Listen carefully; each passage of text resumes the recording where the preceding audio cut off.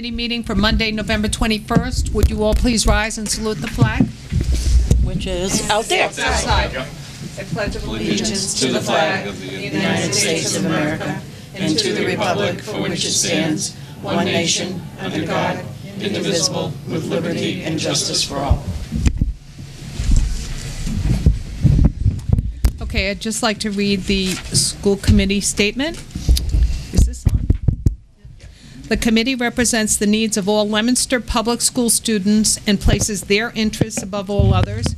We will exercise leadership, adhere to our protocols, and base our decision upon a reasoned assessment of all available information.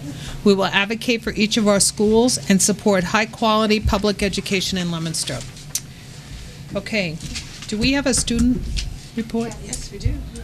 Okay, because it's not on the agenda, but, okay, sure. So, would you like to come up? Is it there? Okay. On our website? Is it? Hi, Hi. how are you? Good, how are you? Good. Good evening, members of the school committee. My name is Kaylin Sharenza, and I am a senior here at LHS, and I am here on behalf of my AP United States Government and Politics class. For the past month, we have been learning how the municipal government works. We had Councilman Mark Bedanza come into our class and explain how our city budget works, and he gave us a brief overview of the school budget. After Mr. Bedanza's presentation, we had a number of questions about how the school department develops its budget. We asked Mr. Bedanza where we could find and obtain a copy of the fiscal year 2017 Leominster Schools budget. He did not have a copy, but explained that since it's a public document, we could obtain a copy at the library. The staff at the Leominster Public Library did not have a copy and directed us to the city clerk's office. The city clerk's office then led us to the comptroller, who directed us to talk to the school department. We visited the business manager, who at the time was in a meeting, and none of the staff in the, in the office knew how to find the budget. Prior to this, I had been in contact with the mayor and his secretary, who were both very helpful and explained how the school budget should be on the school committee's website. After realizing the budget was not on the website, we went back to Mr. Fratto, who was more than helpful. He agreed to come in and meet to the class and discuss the budget. At this point, I would like to read you an email that he had that I had received from him. And I quote, I would enjoy meeting with the class to discuss the school budget. Please share times and dates for such a discussion. Prior to this discussion, I'll forward budget materials, the current year budget 2015 uh, 2017 fiscal year. It is not available online. However, I will work on presenting a budget document that is easy to understand and provides timely information. He also sent me an email explaining how while this information is in its raw data, it may not be as useful to a high school class as other materials that he can put together. In AP government, we are being trained to think like social scientists. We are being trained to look at the data and make our own conclusions about what we see. So I want to be very clear that we are requesting a copy of the line item budget. While we appreciate the fact that Mr. Fratto has agreed to come on December 2nd, we have yet to receive any budget material from his office. In fact, we have found it nearly impossible to get a hold of this document, despite the fact it is a public record. We do truly believe this is a matter of oversight and not intentional. We sincerely hope that this document becomes available online. My classmates and I intend to present to be present at the rest of the school committee meetings for the year in order to develop a better understanding of the school committee's role in our management of our schools. We also welcome any committee member who will be willing to come to LHS to speak to our class. I will leave my contact information with Mrs. Silverman, and I look forward to hearing from you. Thank you very much for your time. Thank you. Thank you.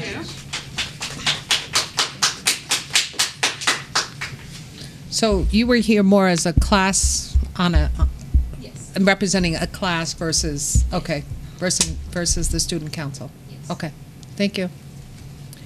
Um, And just FYI, the school committee has not approved the line item budget for 2016. Seventeen. 17? Yep. Um, We're still working on it, so, just so you know. probably But I do agree, it should be online. Okay. Um, Okay, Superintendent Communications? Yeah, there are no communications to the committee this evening. You want to do public comment? See if there's- Oh, I'm sorry, yeah. Is there anybody that would like to speak at the open forum? Sorry, Good evening, ladies and Good gentlemen. evening. How are you? Good. thanks. My name is Jay Cruz. I am the junior senior shop instructor for the HVACR program here. For those of you that don't know what the HVACR acronym stands for, it's heating, ventilation, air conditioning, and refrigeration. I am also the lead cluster teacher for the construction trades, and I'm here to speak with you about the initiatives in getting our school store open. Our school store will offer various merchandise with school logos on shirts, hats, and sweatshirts. We are able to get the initiative underway with the help of a wonderful donation from DCU, which I'm sure you're all aware of, uh, in the amount of $5,000. Today, we have completed all construction of that store. We have also passed permit regulations required by both the building department and the fire department. Currently, the graphic arts department is filling the store with merchandise as we are proud to say that we are on schedule for our target date. We are hopeful that the grand opening for the store will be right before the Christmas break. This initiative will benefit our students in the arts of management, entrepreneurship, and business practices. The students will be able to understand what it's like to own a business by discussing the pros and cons of starting a business and owning a business. Additionally, they will understand products and services and the importance leading to distribution of that product. Our execution strategy incorporates proven methodologies, extremely qualified personnel, and a highly responsible approach to managing deliverables.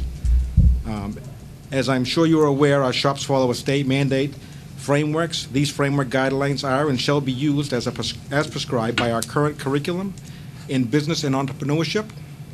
We are hopeful that our goal to produce successful business leaders of tomorrow will be met. With that being said, I invite you to the school, I invite you, the school committee members, to see what our students have done and what they will soon accomplish. I thank you very much for your time, and I wish you all a happy holiday. Thank you. Thank you. Same to you. Okay, anyone else? Oh, Hi. Hi. I'm uh, Dan Bayshant, Assistant Director at the Leominster Center for Technical Education. I'm here to just give you some brief remarks on a program that we're starting at CTEI. Um, We're trying to start our own 501c3, uh, which is one of the um, uh, autonomies that we have as an innovation school. So we've held multiple meetings with Linda Mack and the representatives of the Community Foundation of North Central Massachusetts. And we're in the process of starting that 501c3, which will benefit all of our school programs, projects, and student scholarships. The name of our program is the STAR Program. STAR is an acronym for Success Through Alliances and Resources and this will help perpetuate the mission of CTEI. You can look online. We've also got a GoFundMe account if you'd like to make a donation to help us get that started. It's www.gofundme.com backslash CTEI star dash fund. Any contribution would be appreciated, and uh, just one of the many programs and things we're working on at CTEI, so thank you very much. Thank you. Thank you, Dan.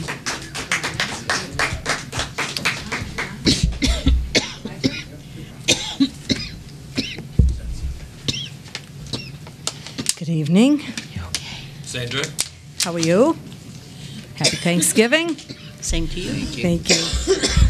So, as part of our plan to sustain and improve student performance, we're in collaboration with Carl Pimarini from LTV to create and implement a television program promoting the 12 CTEI Chapter 74 approved programs and the students enrolled in those programs.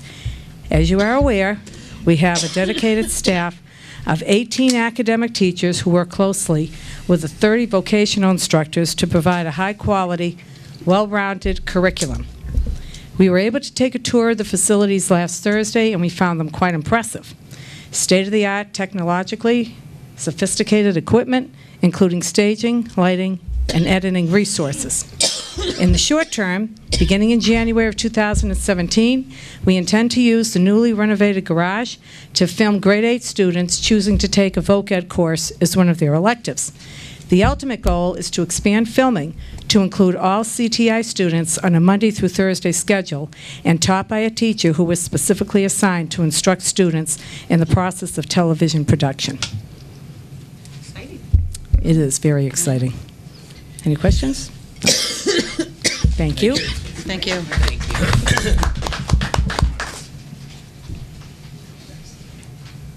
Sue, do you I'm okay, thank you. Good evening. My name is uh, Sam Orlando. I'm an electronics teacher at the Center for Technical Education Innovation, excuse me, uh, with the emphasis on innovation. I'm here tonight to talk to you about one of the best-kept secrets in Leominster that everybody should know about. You guessed it, it's CTEI. We want the Leominster community to know that we are not a diamond in the rough anymore, we are a diamond. And we want everyone to know about it.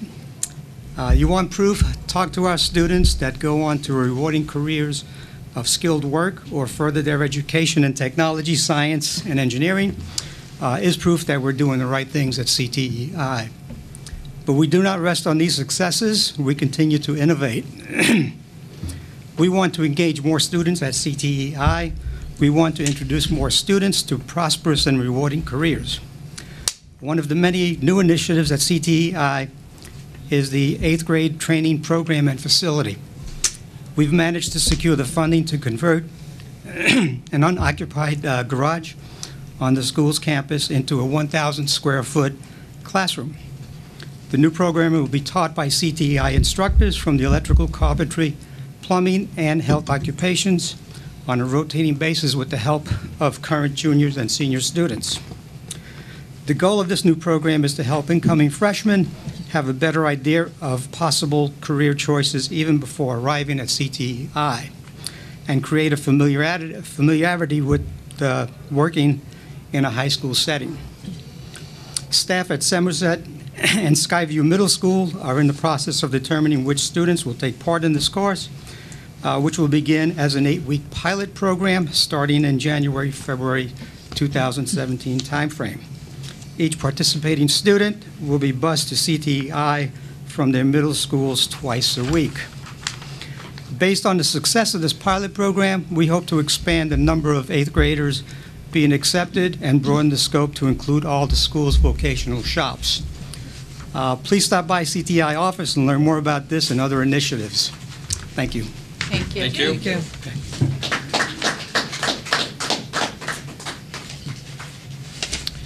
Is there anyone else who would like to speak?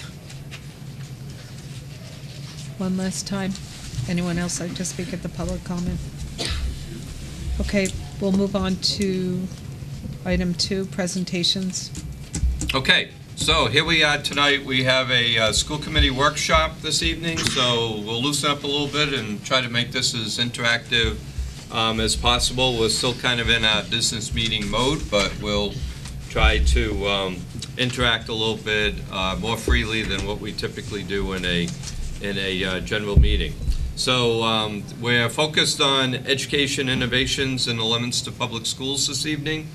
Uh, The committee is familiar with each of the innovation topic areas based on previous presentations, but the intent of the presentations uh, this evening is to update committee members and the public on the progressive work in each area. We're going to try to limit our presentations to 15 minutes so that we can uh, keep this as succinct as possible. Uh, We do have principals here, and they're moving in and out to get uh, to this meeting and then back to parent-teacher conferences, so please be uh, cooperative and understanding that if people are moving in and out of the, uh, of the room. So from an overview standpoint, uh, the district has implemented some exciting innovations in public education over the past five years. Uh, The obvious successes are on the agenda this evening. The opening of two innovation schools, one new school that has taken root in the community and is experiencing growth, and one school that was transformed into an innovation school and has established itself with a firm foundation for schools, uh, for students in vocational technical education. We have experimented with new models and individual academic planning for students, uh, real-world learning through internships, and co-op opportunities and different approaches to traditional status quo classroom learning. We have implemented and accelerated the platform for virtual learning through a collaborative partnership with FLLAC, and that product is Edgenuity, as well as we continue to sustain um, virtual high school and Edmentum as a uh, additional virtual learning environment, and we're continuing to work on refining those platforms. We have worked outside of the standard operating budget by partnering with the Leominster Education Foundation, or the LEF, to fund innovation in our classrooms through our annual innovation grants to teachers, as well as the implementation of the LEF Express vehicle that has placed the mobile classroom on wheels into the community. We have implemented the Parent Information Center to centralize all student registrations and welcome parents to the City of Leominster and the Leominster Public Schools. The PIC has helped us to focus more succinctly on school choice students and related data to reduce the number of students leaving the school district. We have forged ahead in our support of students for high-quality career and college planning and preparation by creating our Pathways for the 21st Century, which is focused on career, college, real-world learning, again through internships and co-op opportunities and student employment, and really building the connections and the um, uh, business community relationships necessary to open up those doors to our students.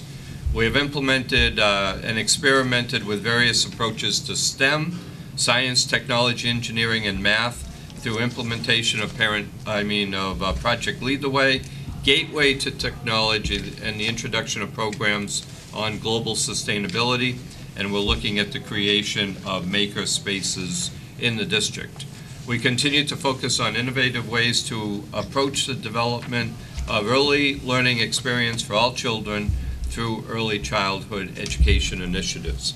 So that's a snapshot and an overview. So what we'll do is move on to the individual uh, presentations and discussion. Uh, First being uh, student analytics uh, with Steve Mamoni, who has been heading up that project. And I had also sent you a diagram of how this kind of all interweaves through, um, the innovations interweave through uh, the district and connect with one another. So as we have these presentations, please feel free to ask questions or uh, address uh, any concerns you might have as we move forward. Thank you.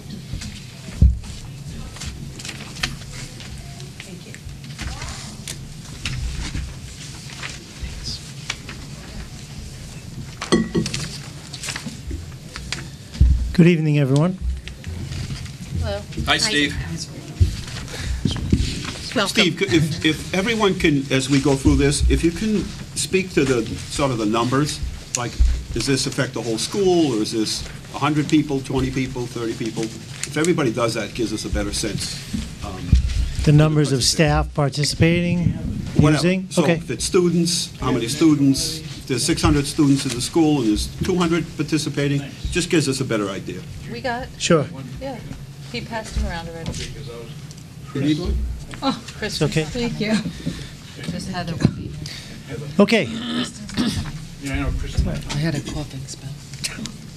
so um, tonight I was going to speak for um, about 15 minutes, try to keep it um, brief if I can, but please feel free if there are questions along the way. Um, I I prefer not to just talk about the program. Um, This is part of an ongoing effort to use data to improve student achievement. Um, If you look at um, the second slide, there's a, uh, just a tie-in to the district improvement plan. So um, we are building assessment literacy, so it's, it's talking about the adults that work with students and how we're building their data literacy, how we're increasing our own professional knowledge around using data. And so there's two ways to do that. One way is to make the data more accessible, and then the other way is what are we actually doing with the data, and how are we using that to improve our instruction? Um, So if we keep that in mind as a focus, I think that will help. Most of what I'm talking about tonight is around the accessibility of the data. Um, In years past, some of the difficulties, and I believe this is one of the reasons that Jim prioritized this, the superintendent prioritized this, is because he realized across the district that there, there are so many sources of data, um, but the data is housed in a lot of areas. And so Baseline Edge, which is the computer program that we use, is now owned by a company called IO Education. So if- if you hear IO Education, we used to just call it Baseline Edge. Baseline Edge is the computer program that we use. It also is the program that we use for educator evaluation. So teacher evaluation, observations, goal setting, all of that is housed in Baseline Edge. There's a whole nother side of the software that's um, student analytics, and that's what we're taking a look at tonight. Um, So on slide three, you see we just have a quick introduction, and then there's a few components I wanted to call out. There's an individual student profile when we're looking at the um, data itself, and then how we how we can display information, how we can filter information, and then maybe some time for questions. This um, software is used across the district, so all of the administrators are trained in the use of the software, both in the observation side of it, the talent, so the TalentEd, and also the data analytics. There, um, uh, as well as the entire staff uses the observation side and the analytics side. So there's, it's pretty comprehensive. Um, So tonight, like I said, we'll talk about the, the data side of it. Do you have like an example? Did you run a couple of profiles that you could share with us? I'm showing screenshots tonight. Um, the live part, I'm still trying to work out. The live part has student information on there, student names, student faces, and those kind of things. And obviously, I can't display that with the television camera. Um, but I have screenshots here and examples for you. So in a future meeting, um, I'm working with the company to try to identify ways to do that. If we can't use our own data, then I can use some demo data and show you similar things that we do. But if you want to, throughout the course of this, identify things that you would like to learn more about, I'm sure Mrs. Silverman will be able to record that. I can do some research, and then we can incorporate that into the next part. If Well, I I, guess, the- I guess the question would be, how, how do you assess this at the end? Like, how do we know as the school committee? Yeah.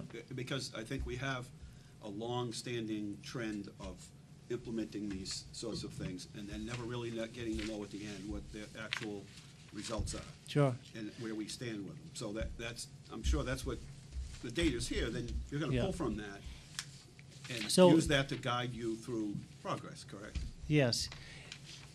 The measure of, of how data is used is, is challenging. How do you, how do you measure the effect of the use of data? Uh, That's, it's hard to quantify that, um, but what I'd, what I'd like to say is, within our school groups, and maybe, maybe I'll talk first and then come back to that, but I think seeing it in the groups and the effectiveness, of time, energy, and then efficiency, I think, leads to where this program, that's where the, the bang for the buck is, um, in the efficiency of the data use.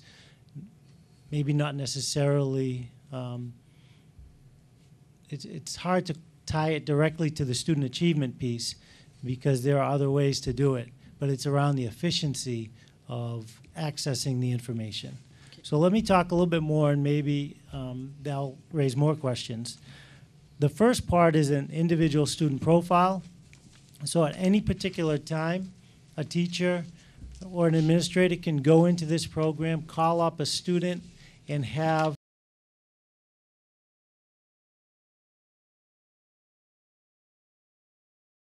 all of their assessment history on one screen. In years past, we would have to go into the DIBELS website or into a paper folder, but into the DIBELS website, get their DIBELS data. Into the MAP website or NWEA, get their MAP score. Into the state website to get their MCAS or their PARCC score. So it was, it was pretty time consuming, and we found that maybe that wasn't happening as frequently as, as um, it should have been. So when, a, for example, if a teacher is going into a parent meeting, they can go into this, into this part. They're very familiar with logging in for their own goal setting and evaluation. They can click on a student, and the example is um, on the next page, but they can, you can see the information that they have. So their individual profiles there. Um, Maybe back, Tim. Yeah, back two. Back one. Yep, right there. Sorry. One more. One more, yeah, there. That's the one. So in the individual's profile, I took a screenshot, I blocked out the student name in the photo, um, but you can see this one has map information and has historical map information. So you could go down and get a quick glance of their map progress. If I scroll down, I could look at other assessments. Okay, Steve, Sure. one quick thing that just pops. How is this entered? Is somebody having to Hand feed enter, no. in? Nope, so this, uh, this information for this particular test, the, and is on the NWEA site. The district gets a, an electronic file, and then we upload to the site, secure upload, and then it gets integrated. It uses the student ID to identify which student that data belongs to, and then it ties it all And together. we can tie in the other tests, the PARCC tests. or Exactly. The state sends us files for those. We have access through the Dropbox. We can, we can take care of that. And so it's all tied in through the student um, identification number. And then what we do at the school level is, I say, okay, the upload went through. Let's periodically check, go in and check five kids at each grade level to make sure that the picture's right, that the student information is correct, those kinds of things. It's, um, it's pretty streamlined, which is nice. One thing I do want to say, the advantage of using a program like this is sometimes we we get so, um, so intense on looking at the data and looking at the numbers and trying to find solutions that it's possible to lose the, lose touch with each individual student. And so one of the nice things that this program does is it has the student photos right there. And so it allows for personalization. It allows for um, staff to take a look, see the individual student there, match it up with the data, and, and I think it's a much more personalized approach. If we take a look at um, the next slide, Mr. Blake, this is an example of my entire school. And you can see there, I, I took the large shot so you couldn't see the individual, individual faces, but I can zoom in from anywhere from one to the 694 students that are, that are in there. And then what I can do, if you look at the next page, it has the filters. So I can filter down, drill down deeper around a lot of the demographics. So I can take all the males in the school. I can take all the male fourth graders in the school. I can take all the male fourth grade special education students in the school. I can take all the male fourth grade special education students who might also be ELL. Now I have a real um, simple way, and that took as, as quickly as I said that is about how quickly I can do it through this program. It's clicking filters on the screen, and I can I can narrow down the data that I'm looking at. Um, then I can display the information. And so I can display that information based on those criteria. And then I can add other criteria. I can look at that for one particular assessment, or I can look at that through multiple assessments. If I wanted to, if I wanted to look at, I think the example is on a couple more pages, so I'll, I'll come back to that.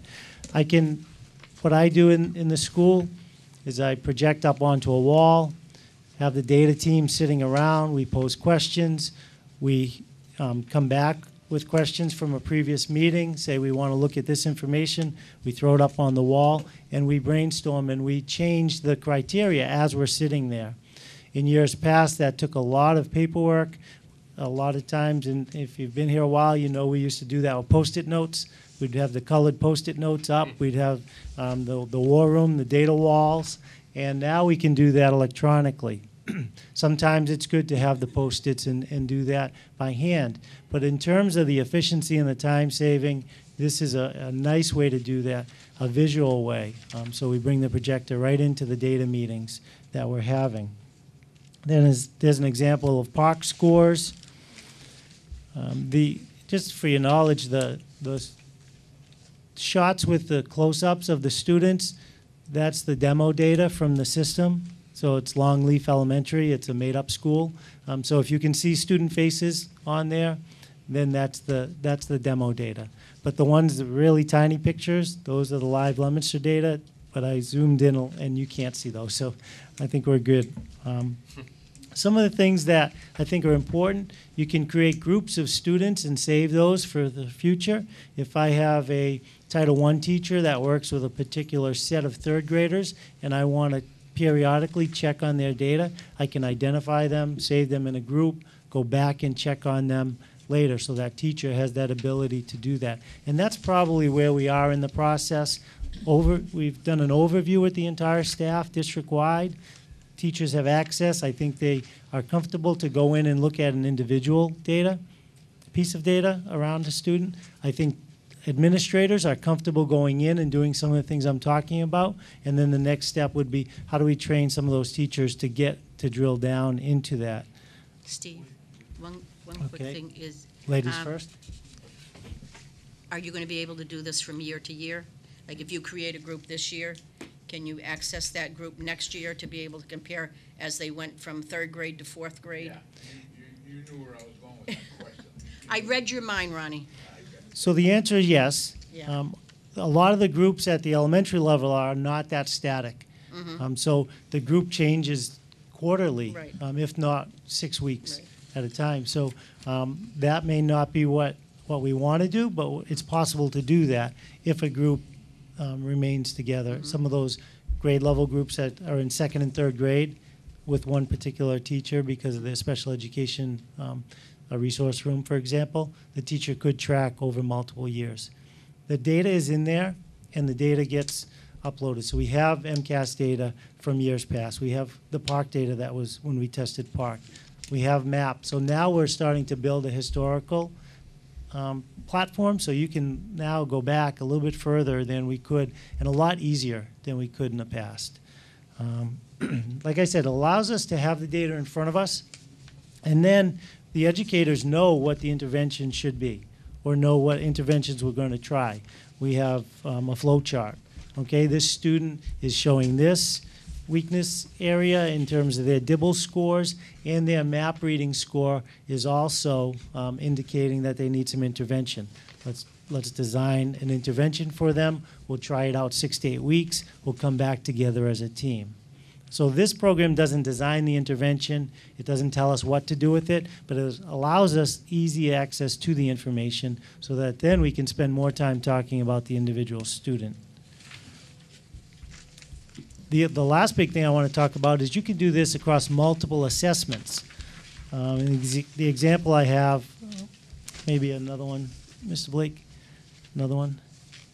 Yep. So we're going to take, in this example, um, a student that has low or low average score on the MAP assessment and a DIBELS score that has some risk. So that group of students, I can take them, I apply those two filters, they pop up visually into different groups, and I can go in and I can select them, I can design intervention for them. And it's as easy as the first two graphics at the bottom of that screen, sliding the bars um, and, and selecting what my score points are. And so if I'm in, if I'm in the room with, with the adults, I can say, okay, we've got, we, these are our criteria, and it comes up and there's 100 students that meet the criteria. Well, we, we can't find intervention services for all 100 of those. So what's our target group? So we slide the, um, we slide the target until we get a group that is workable, and we start intervening with those students. I just have like a silly question. Sure. Um, so their pictures are popping up, and is their names attached to those pictures, so you're not like? Absolutely. Pictures, around looking for- names. It looks like this? Yes. Pictures, names. um, And teacher or anything like? If I click on the, on the picture, then I get the individual student profile that has their demographic information, quickly access their student his, um, score history. So very accessible um, in terms of that. And then how far back does it go for history, for student score? Right now, we're, we're back, I'd say a good three or four years, the, comfortab- comfortably. Um, At different times, we've used assist, assessments differently. For example, um, the MAP assessment, we may not have, we may have given it once when we first started. Now we're giving it twice a year, sometimes three times. So those kinds of things we need to just take into account. Um, I'm excited about the, um, having a data analyst back on board, because if you look the next steps, that's one of the things that Um, I do want to talk about the, the data analyst, moving forward with that, getting that person up to speed. I can have a partner again, um, talking about the data and making sure that we're good there. The other things, I'll be, one sec, Ron. I'm right with you. I got you. You're next. Um, The teacher assistant teams, that's an example. I believe there's some efficiency.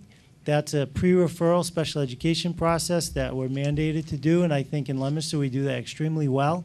But I think some of the forms and some of the paperwork that we use, there's a way to um, make that more efficient through this program. So we're I've talked to um, Mr. Pratt, we're looking at that. Is that something that we want to do as a district? And then we can integrate our standards-based report card at the elementary and middle school level into this program. That data is in Aspen, it's in X2. We can take, take that, push that into this program, and then we could start using the standards-based report card information as another assessment qualifier, which I think, I think, really think teachers will like that. Um, that, you know, which standard, which standard is um, across a grade level stu- are students having difficulty with? And how does that look in relation to our, what our MAP scores are telling us? Okay, Ron. To piggyback on Eileen's question and and Noma's question, the graphs for the scoring, are they horizontal, are they vertical, or which way, however do you, and are they color, are they color coded, Jim? Yep. So Are the, color coded, uh, do they, how, do- okay. Yep. Imagine I was, I was supposed to look up this, and I wanted to look up, you know, I think she was asking about grade two or grade four, you know how last week and the week before, we were talking about how even though grade four is here and grade five, is grade five is here and grade six, they're the same kids, but different years. Do you have that, you have it on here? Is it color coded? so it is visual with the student pictures, um, with, within the bar graphs, okay, like the example. And within those, the pictures can be then color-coded depending on the, um, the level of the student, a low, an average, or a high student. So within the bar graphs with the student photo, those can be color-coded. Um, But then I can export any information that I farm out, I can export that into Excel. And from Excel, then I can create any type of visual graphic that I need for other purposes. So this program doesn't do that, but the ability is there. To it, is it horizontal it? Once I, once I have that data in Excel, Or is it Shotgun effect. once I, I could do a scatter plot, I, once I have that data in Excel, I could do any type of graph that the user needs or wants to display information in, in any way. So, I mean, basically, you're collecting data, and and it's a lot easier to manage because it's all in one place. So I guess my Yes. question at the beginning was, okay, everyone collects data today. Yep. a matter what you do with it. So now that you know, you've been into the database, it tells you a story about either you're drilling down to a particular group of students, looks like they're struggling in a particular area, now you're gonna formulate a plan based on your data, correct? Exactly. And then you're gonna monitor that and assess it, and then does this give you the opportunity to put that data back in now, saying, we identified these students, there were fifty students. And out of that 50, two of them we got back on track in two weeks, another ten it took uh, three weeks to do, and then we got five here. Yes. So that's the important thing. I mean, everybody collects data. It's Yeah, that's, what you do that's critical, and, and depending on which assessment we're using, so at the elementary level, I'll throw out DIBELS, because we're all familiar with DIBELS. DIBELS progress monitoring, so if we've used that to identify third grade students with oral reading fluency that is below benchmark, and we're going to put them into an intervention group, use a program, teach them, and then we're going to progress monitor. So either weekly or bi-weekly, and we're going to then check the data. So can I add progress monitoring data to this system? Absolutely. And that's what we do when we meet as data teams. So we have different levels of data teams. There's a school-wide data team, and then we have an interventionist data team. Now, at each school, it's going to look a little bit differently. At the elementaries, it looks kind of the way I'm describing it because that's how we're set up in terms of using the DIBELS. The middle school, their assessment team might be looking at the map information a little bit more and then drilling down using that. Um, some of the interventions that we use, like Lexia, would have their own assessment built in, but that it's that it's that frequent two to three week check in to, to make sure the intervention is moving students, because if not, we don't want them in there for the eight weeks. We want to move them onto an assessment that's going to work. And that's why I asked. When I said an example, yeah. I don't want to see kids' pictures, I don't know their names. Yeah. I want to see the data, the data, uh, as an example. In other words, we took this many students. We drilled down, we found this particular area, reading, math, whatever it might have been, Yeah. retention. And we, we looked at that, here's the problem. And then you follow it all the way through to the end, where you end up with hopefully hundred percent, right? Right. So, can you Growth. do that? Absolutely. Yeah. Yeah. That would be just interesting. And so this is the tool to do that. This is the tool to uh, monitor that. Right. Um, This isn't the tool that's going to tell us which interventions or anything like that. This is the tool that's going to help us um, organize, make the data more efficient, have access to it for more people. I think that's where we are. Um, This allows many more people to have access to the information in an easy, understandable way than it, than we did before. So how long before you can have, uh, so you, you basically, this is the first step, is, is this database? This is year two, so we're, we're moving pretty well. Like I said, once the data analyst is on board, we'll tighten everything up, and then I'll move forward to make sure that we do a little retraining. Everyone has access to the information again, because I think the more frequently you use it, the better, um, the, the better you're going to use it. And then, so in what year would you have a, would you be able to close the loop on this? So you have a full, you know, you have a a end-to-end from input to the output of the data to show this is, this is where the problem was, we resolved it, this is how long, and how Yeah. many students it affected. I think that, um, I'd like to say that that process, probably quarterly, use, the use of this program is, is cyclical. It's going to always be, at, in the fall, we're always going to do this. We're gonna upload the spring data Right. and the new fall data, and then we're going to look at it. In the winter, we're gonna upload the new winter benchmarks. In the spring, we're gonna upload our spring data plus the state data, if it's there. If not, that'll be in the fall. And so that's going to happen every, you know, yearly, um, throughout the year. And so I think that, now that the state has their state assessment schedule, now we're tied into MCAS, that's, that's going to be the thing for, for the time being. Right, right. I think we'll be in a much better place with that. Because we'll have consistency. then. Consistency around that is going to certainly help us. So you're saying you can generate that anytime? It's an ongoing thing. It is ongoing. So you could generate an example now then?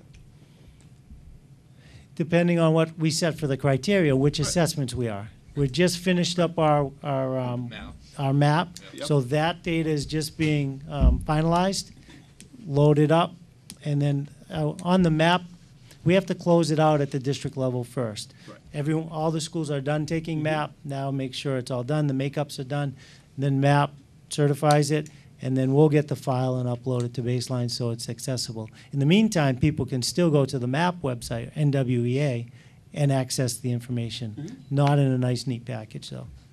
Yeah, um, No? I heard, I, I heard you speak that, you know, elementary and middle school. What about high school? Is high school going hi- to be able to? Absolutely, the high school has access to it. Um, And Their, their term their grades data are is going to be different. loaded into it? The, th- we're not doing the term grades yet, we're at the state um, score level. So the MCAS, the PARCC, and then the reta, the retakes, all of those kind, But their those kind of cards assessments. will eventually, all report cards will eventually That's, be loaded into that? that's possible. Some kids, some kids do well in class, but not on a t- standard test. absolutely. And I so think the you need to be able possibilities to look there, at but, that. you know, that's, um, that's a tier, tier two maybe, Mm. part of the project. Uh, We're not there yet, but the ability is there to do that. Do you have anything, Corey? Uh, yeah, I just have not so much a question, but I just want to say, you know, I think data analytics and the ability to look at each individual child and try and understand how they're testing and how we can intervene. I think that this is an amazing program, and I really hope that we have the ability to expand it in the future. Thank you. And I, like I said, this is the tool, but the, the focus, as Jim has outlined around the district improvement plan and our direction is right on. That's where we need to be. We need to be looking at, obviously, big picture, but I think we do the big picture thing pretty well.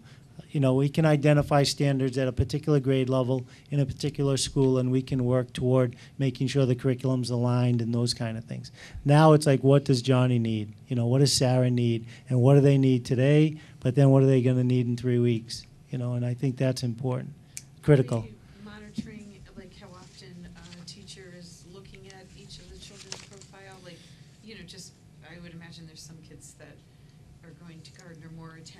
others, but I want to make sure that sort of everybody's reviewed. Yeah, and I think the data teams in the schools do that. So the school-wide data team and then the individual um, groups that work in. In our school, it's the school-wide data team. We sit down and we come up with a plan.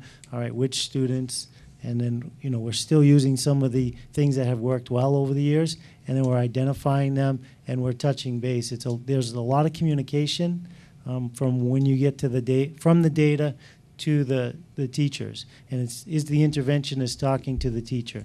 Is the teacher talking to the instructional aides that also work with the student? And all of that communication is critical. Um, you kind it's kind of like the, the band. You know, you have to have all the pieces playing together in order for it to work.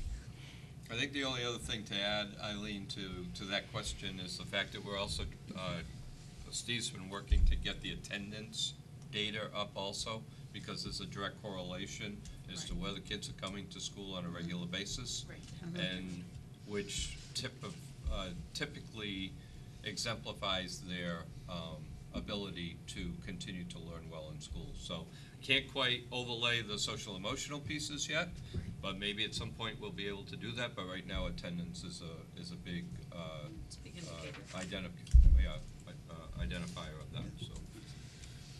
I think this will give Okay. us a lot of data to, um, that we've asked for in past years, that will be, we'll be able to have quickly and um, have it be accurate.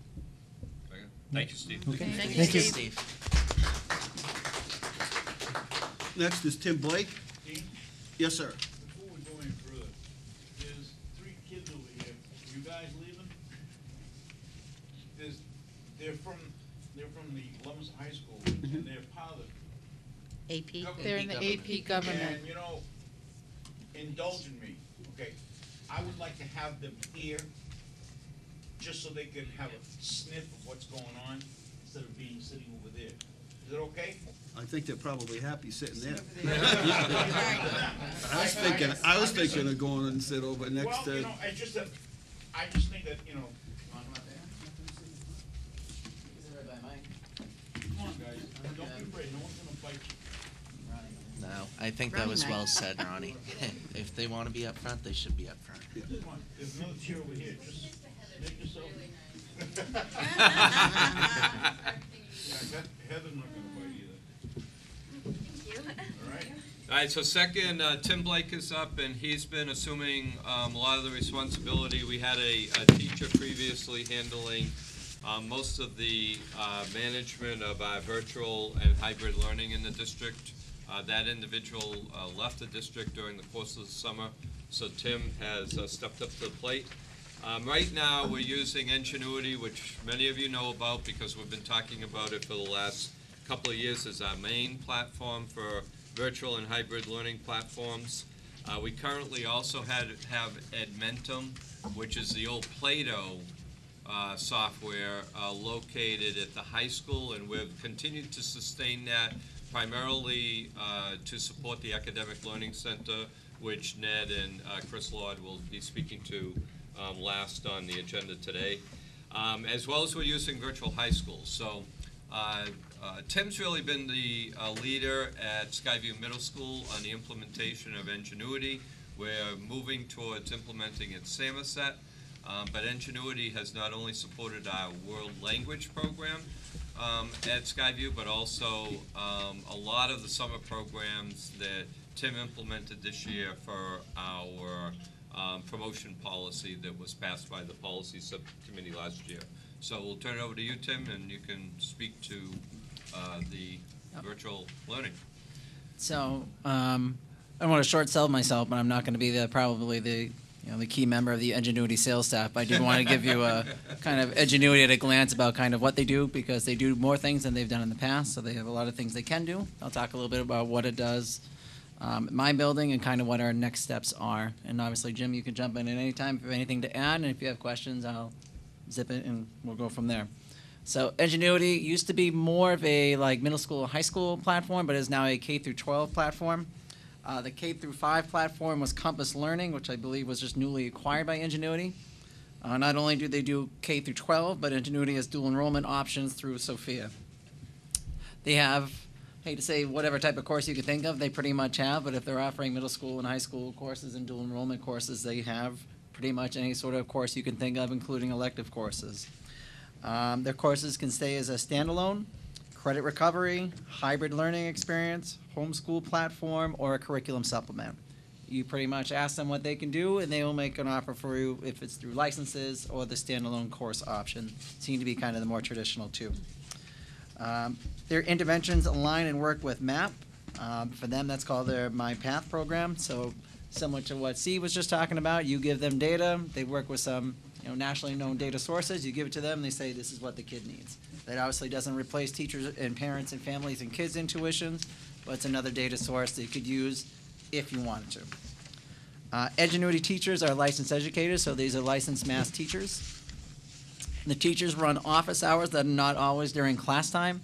Usually when people first start using Edgenuity, that's usually the first kind of like hurdle just to kind of get through because you're taking a class, but your teacher's not always right there like live talking to you.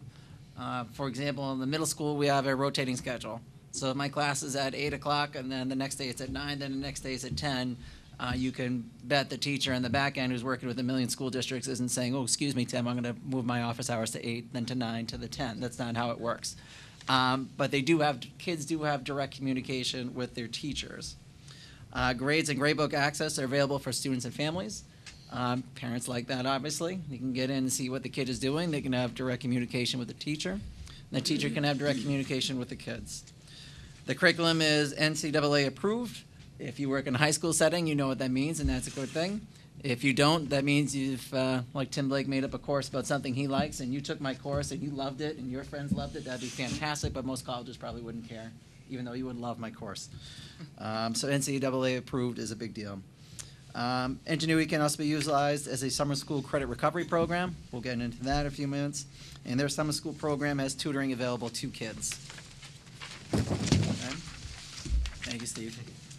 Uh, currently at Skyview, we have about 120 kids enrolled in foreign languages. That's our greatest use for us. Kids take Spanish, French, Mandarin, German, and Latin. Kids get to choose whatever language they want to. Uh, students access classes through a Chromebook, and on that Chromebook, they also have headphones, you know, like earbuds you see other kids wear, but they also have ones that have a mic so they can speak back into it so they can do the talking part of their foreign language. Um, for us at Skyview, we do have one classroom, which is de- a dedicated Edgenuity classroom. It has a Chromebook cart and a full-time tutor. So basically, what the, it looks like a traditional class in the beginning, like the kids have something to do right when they walk in, and then it's unplug and off they go. Uh, the kids do work at their own pace. Uh, sometimes they work at different spaces, not confined to the classroom. Now that we've got a wireless upgrade, we actually can do it all in one classroom, but the kids still kind of like being out in the hallway to do it, which is cool. Um, Besides the foreign language piece, we have 25 students who are offered summer programming through math, science, English, and social studies. Again, there's any sort of courses they could need to make up, but we did the four core academic. And the summer programming took place outside of the school setting. How so? And, uh, I was gonna say, and did we find that those who took the summer programming, um, No. basically did enough work so that they are being promoted and, So the next page and the next slide. sorry. That's all right. I just not like you got it ahead of time. So six students took in past summer scored uh, summer courses. Eight students were retained in grade level. I did include it. Of those eight, four have left the left the district. Eleven students were promoted to the next grade level and currently taking a previous grade level class to complete promotion requirement. So of those eleven, some families opted not to. Right from the beginning, we met with the families saying yes, no. They had the reasons, different and varied. So some of those kids are moving up and they're you're not minus a grade level class, but they had to lose either a workshop class, which is to help. We don't like taking that away, or they're not taking art, music, and those sort of things Tim, I- my question was going to be, it says summer program took place outside. How so? at their house. You, you let them take a Chromebook home, or, The, most of most of the families had a computer access or internet access. and if they didn't? And then we had one family who did not. We signed them out a laptop, and that's what they used. And so when they got ahead of, am I overreading this or underreading this? I don't know. They got, if they got ahead of their, their grade requirements of classroom, what happened? Um, that was not a concern. It was keeping pace. They didn't get ahead. So they needed to keep pace for their summer program. They didn't get behind. Right, but what would happen if they get ahead? Is there any one of those that get ahead? No. I mean, I mean, in terms of if you're taking like getting ahead, like ahead of their pacing, or like took too much. Whatever, whichever way you want to interpret it. I would say of any kid that was not a problem. The problem was doing their work, not getting ahead. If they got ahead, they get a high five from me. To be quite honest. Well, you know, I mean, I, I realize I'm getting people to laugh at me, but. No, that's not the point, Ron. But my question is, if they get, if they still, suddenly start moving ahead, Yeah. what happens? Then they're done earlier. That's fine. And what happens, okay, it's done earlier, but Yeah. what happens, what are the complications or the implications? So If for they're s- done earlier, what if, happens? if for summer school uh, classes, if they're done earlier, then they're at grade level and they're done. Right. Then they move up. Right, other than if you wanted to give them another class or they wanted to take something That's else, exactly right? where I was Another- leading Is there other courses available in the That's summer that exactly they where I could was take? leading to. So in the summer, what we would consider is more of a credit recovery. You failed math, we want you to pass math. But down the road, there might be more of a library of other things. They might get excited and say, hey, that was a pretty cool way to learn. That's I'd like to exactly take I was another thinking. course. Down So the- in the that's- future, you might be able to offer those. Well, it's like anything else in life, there's a cost. I mean, it's Right. something that we could work out. Edgenuity itself has, you know, courses right now, K to 12, you name the level, you name the elective. So if a kid identified that as a way that they want to learn, anything's possible. Right, I think what always Ron was asking is, what happens when they reach that level? And your answer was, well, they've reached it, we're happy. But if the student says, look, that was pretty fun, I learned, uh, is there another course menu that the student could take, barring the, mo- I know the money, but it's always an issue, but, Yeah. but are there other things, if the student said, I want to go, I want to keep going, I want to go to the next level. Uh, This is my way of learning, I'm really having a good time with That's it. exactly what. Yeah, there's absolutely a possibility. Have we had that happen yet? All along, something that, something that attracts them. Right. And all of a sudden, they get some traction, they like it. Yeah. It's like sugar for the brain, and all of a sudden, they want more. hmm I think that's what the purpose of these presentations at tonight is to open up the committee and the community's eyes to what we have available. As the mayor said, everything has a cost associated with it, but if this is something that, I think, I went back to my entry report when I came in as slide. superintendent, and this was one of the key areas that I identified that was gonna be a important trend for the future, that we need to open up our opportunities for virtual and hybrid learning, and this Mhm. has been a major success for us Wendy? so far, so. But just to clear, this Yeah. particular thing you're telling us about was students who would not have been able to move on if they didn't pass a course. So if Yeah. they were just given this course, Yeah. if they finished early, then they had the rest of the summer to Yeah. Have summer vacation. But the whole Remediation. point was just Mhm. to be able to move up a grade level with their peers and finish Yes. this course. So I think what we're, I don't want to jump too far ahead, but I think what Ronnie or Dean are talking about, if you look at just the, the previous slide where you got kids enrolled in Spanish, French, Mandarin, German, and Right, Latin, and That's optional. if, I mean, it's a different cohort, but if you're thinking of that group of, that type of learner and they really like it, what else can I do?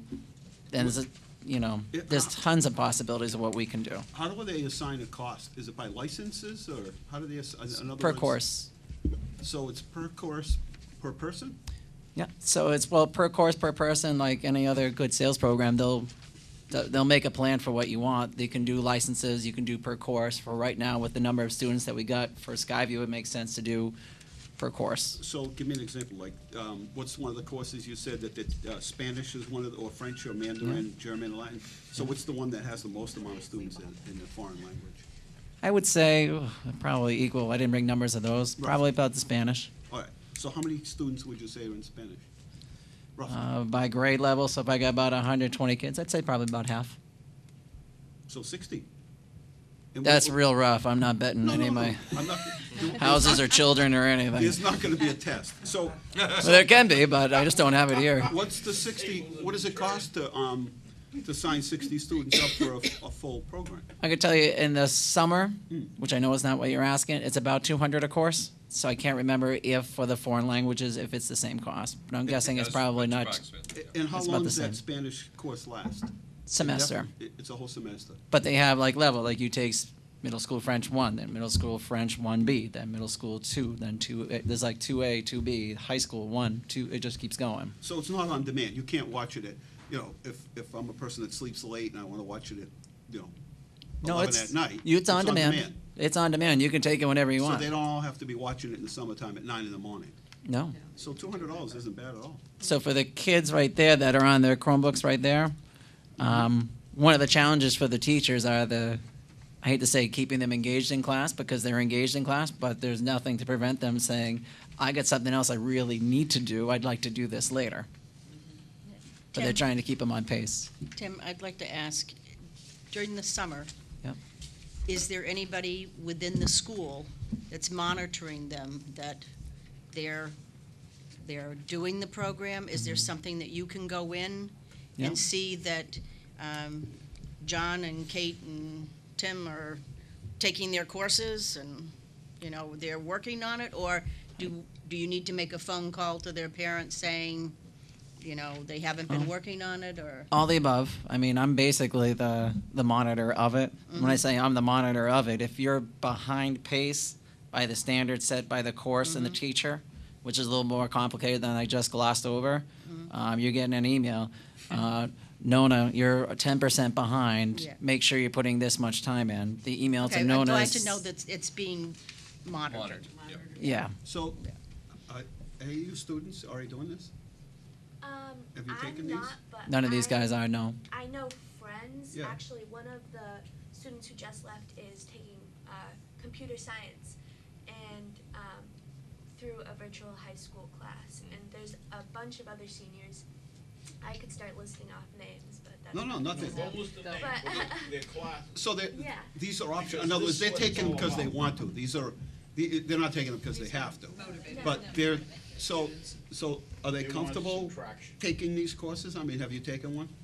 I haven't personally because I'm a CTE student, Right. so I really don't have the time in my schedule. But um, See, it- CT, they're driving them really hard.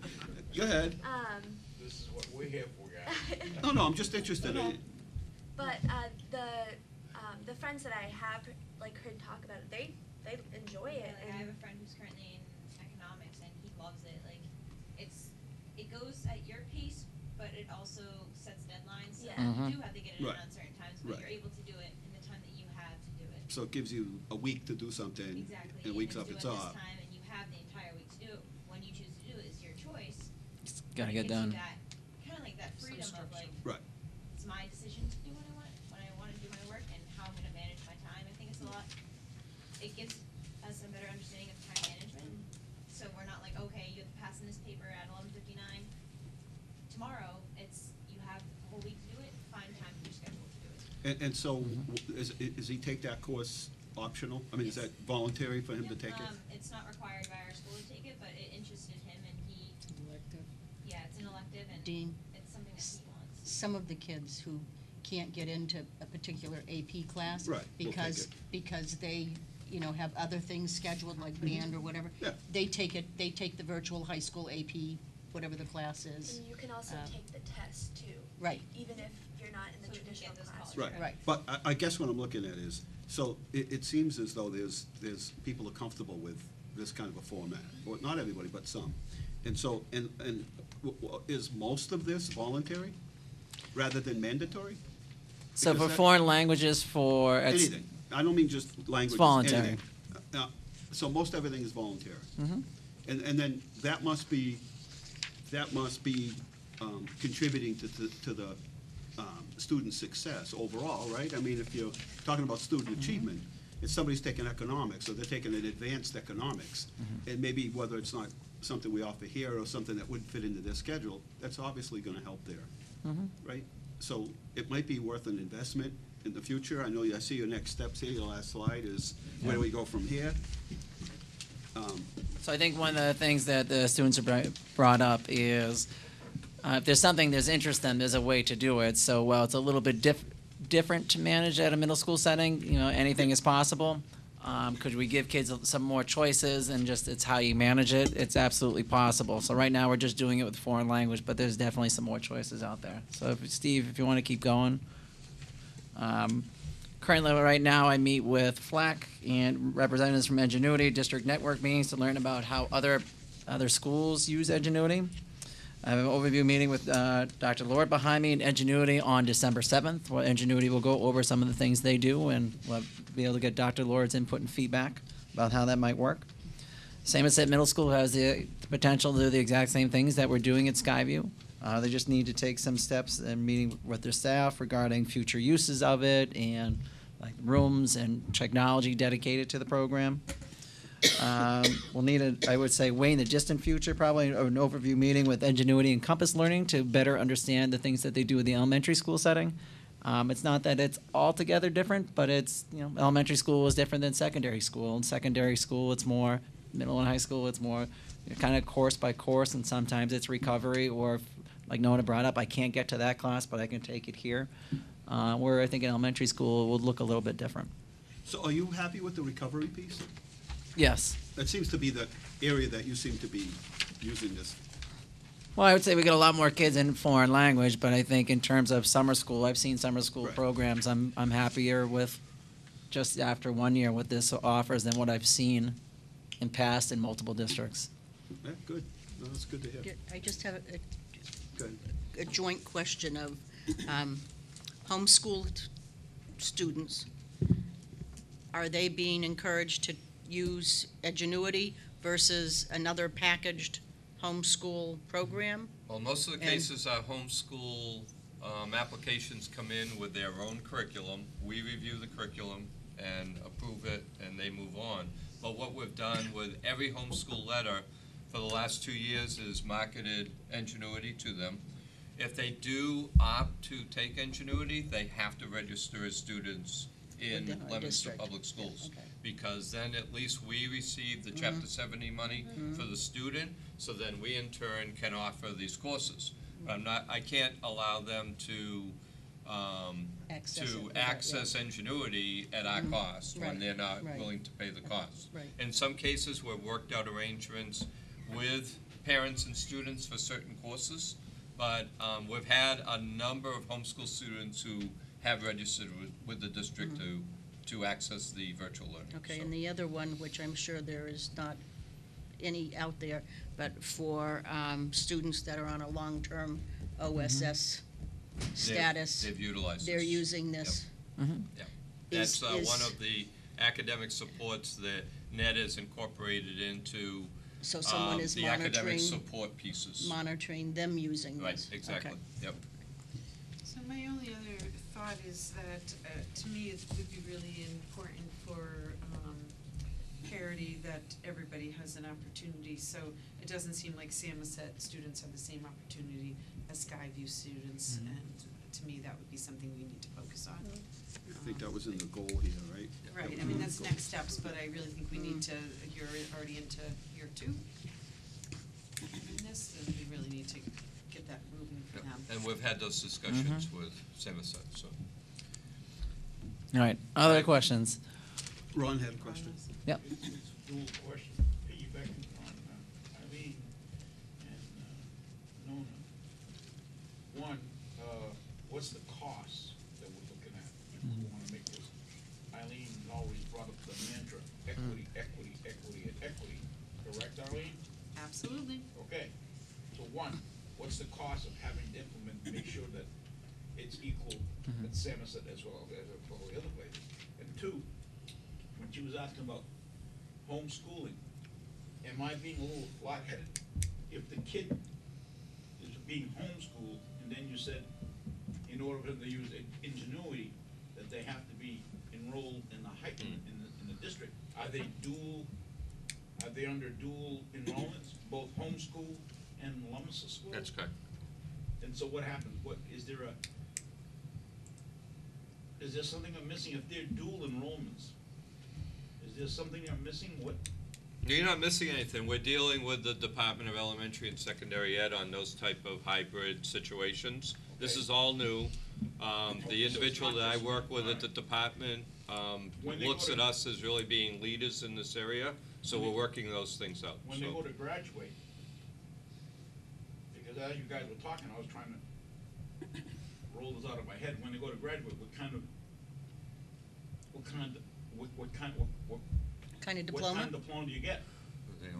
I, I think they have to choose. Yeah. They have to mm-hmm. make a decision, like Who- any, like who makes any, the decision? any child that Family. goes to an out-of-district school. Yep. They have to make a choice. Do they get the diploma through the out-of-district school, or do they get a a Leominster High School diploma? Or do they do a high school equivalency? Right. Most of our homeschool students do a high school equivalency, and they base their, their, um, uh, they propel themselves into college based on that, so. All right. I mean, this next generation is the generation that's gonna You're- probably she's get their ascending. degree. There's something you want to say, go ahead. Okay. She was agreeing with, he's not used to having people I'm agree trying to with. pick their head, pick their mind, that's all. He's not used to having people agree with. Because when, when you're, when you're saying that they, they have a, ch- they have to make a choice between this diploma or that diploma, how is it going to interfere with their going to college, or college, or a their technical? choice. That's their choice. It's, I'm it's, just asking, it's guys. their choice, a choice. diploma, a diploma is a diploma, and who's all, making the choice? They're making all choice. colleges Who's recognize a the choice? diploma. That's what I. Each family. families are The family will The make the family choice. will choose that. And what have they used as their decision-making? Every that's family's Whatever they got want, different, Ronnie. Ron, it's what's comfortable. Look, I just- All right, hold on, I got hold on, eighteen hold on, different hold on. Ron, Okay. Ron. Basically, It's a they, simple question. basically, they have the option, uh, uh, you know, per family on how they want to pursue this. So some families get into the system, they get out, they're partially in, some of them play sports, right? I, I think they Yeah. can play Well, sports. So there's a bunch of different options, and the Department of um, Public Education leaves it pretty open-ended.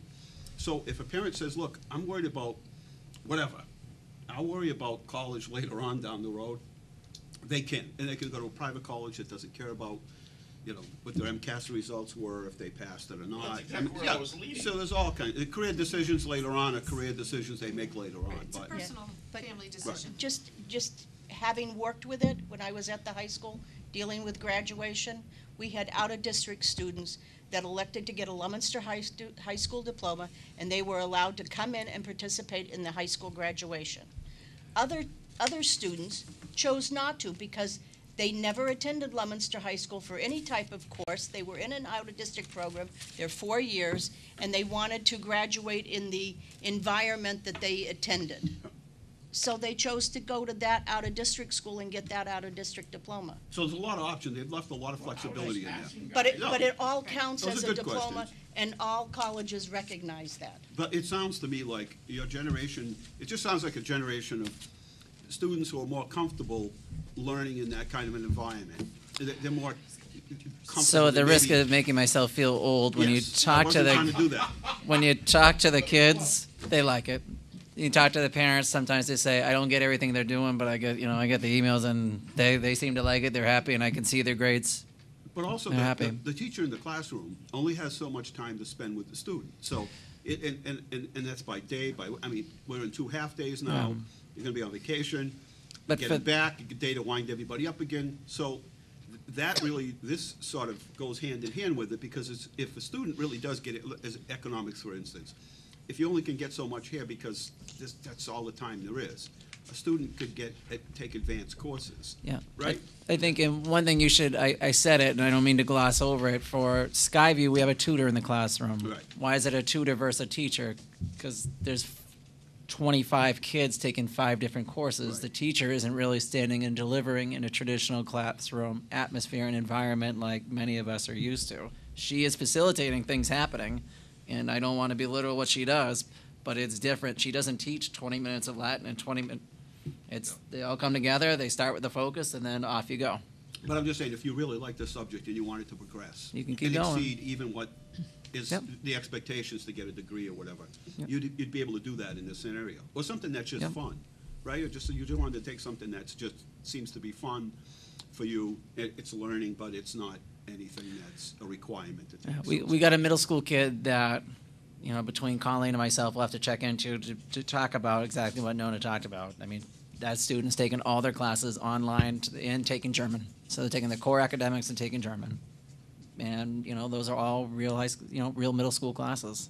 So the future really is more Virtual. crossing over in a whole That's lot right. of places, right? It's using. Mm-hmm. Well, if you use the, different if you think of that foreign language class, there's a possibility to have more classroom areas in a middle school level where I'm the teacher and you three are taking one class and you three are taking another class and maybe you guys are all taking ten other classes and I'm really there just to facilitate, make sure everything's happening as it's supposed to. So it's kind of a different concept. And sometimes you don't need a teacher teacher like we're used to. Well, they're nodding their heads in sort of excitement, as if Yeah. uh, we struck a nerve here, that it just seems to be something that. I told him to be excited. I think it'd be, I think it would be, if, I- I don't want to derail the whole meeting here, but I think in a future meeting, it would really be helpful to get maybe a couple of students, just come in and talk about their experience on Yeah. taking, you know, either remedial, if they want to, comfortable talking about it, or Probably just not. is- is electives. I know, you might find somebody that says, look, I was, you know. I don't think so. I think you get the foreign language one would be Yeah, better. and, and so they could talk about their experience Mhm. in this and how maybe it helped them to become more interested or just pursue their passion. I think the important thing is, once they get into college, is their college experience is gonna be all online anyways, so. The we're other- just- yeah. we're Or a just combination getting- of the two, right? Yeah, we're just getting them to a point where they're gonna be more comfortable with that setting. In fact, I think what the, the federal government has said is, look, when you, in the future, you, you're spending thirty, forty thousand dollars to go to a college, why don't you take so many courses online, and then why don't you do the rest of them in a particular college? Sort of like what a community college does, take courses at community college, Mhm. that you need, your core, co- uh, courses, and then you move on up to, you know, the university, where then it costs a little bit more Well, money. My classes are online through Northwestern. I'm getting the same degree as somebody who's on Right. campus, but my Absolutely. cost is a Minimal. fraction of what they're Yep. paying to go. Okay. The young lady on the end. Yeah, but you don't have the cafeteria. No, I've never seen it. I've never been on campus, but. It's really nice. But cost efficiency, I'm getting this, my degree will be the same. Yeah. At a very small piece of, and it's a Right. good school, so. When you go to apply for a job, they're not gonna ask you Right. whether you took it online or not, that's not gonna be a requirement. I think she had something she wanted to add. Um, along the lines of like you're mentioning how like the teachers aren't always there for the students. Um, in these CHS classes, they have like chat rooms with the other students in the classes, Right. so they're able to like talk to someone at all times, like whether they're the teacher or not. Like someone like in their class may understand it a little better, so they are able to get that kind of not necessarily teacher to student, but more student to student. So you're at you're like they have um, discussions where like they're getting a topic and they all kind of like they give their input and then Right. someone else and then they have to respond to what they said. So like they're kind of getting more of a almost like a real life application because It's more peer-to-peer, yeah. Yeah. A lot of online courses, you have, there's a certain amount of, you get so much credit for uh, participating with, Being interaction with your, with it. I like it. I, I'd like to hear from some of the students, just to get their sort of spin on it in terms of what they, why they took the course and what they got out of it, if they think it helped them towards. So you could be taking college courses right now in high school, basically, right? Yes. Yeah. And those would count? That's what I Yeah. was leading up That's a dual enrollment type of pieces we can look at, yeah. Mhm. All right, thanks, Tim. Thanks, Tim. Yeah, thank you. Thank you. Jim, just one question. Yep. Um, so this is replacing Plato, which we just renewed the license for? or- No, this is, um, we, we entered into the contract with FLLAC on Edgenuity to be able to support the, uh, progress that we wanted to make at middle school. Uh, the Plato has been in place, um, to support the Academic Learning Center at the high school for a period of time to avoid making all of those staff members switch to a new piece of software um, immediately and go to Edgenuity. We've uh, extended that, that license for another year. They were able to make a pretty good deal with uh, Plato, which is now Edmentum.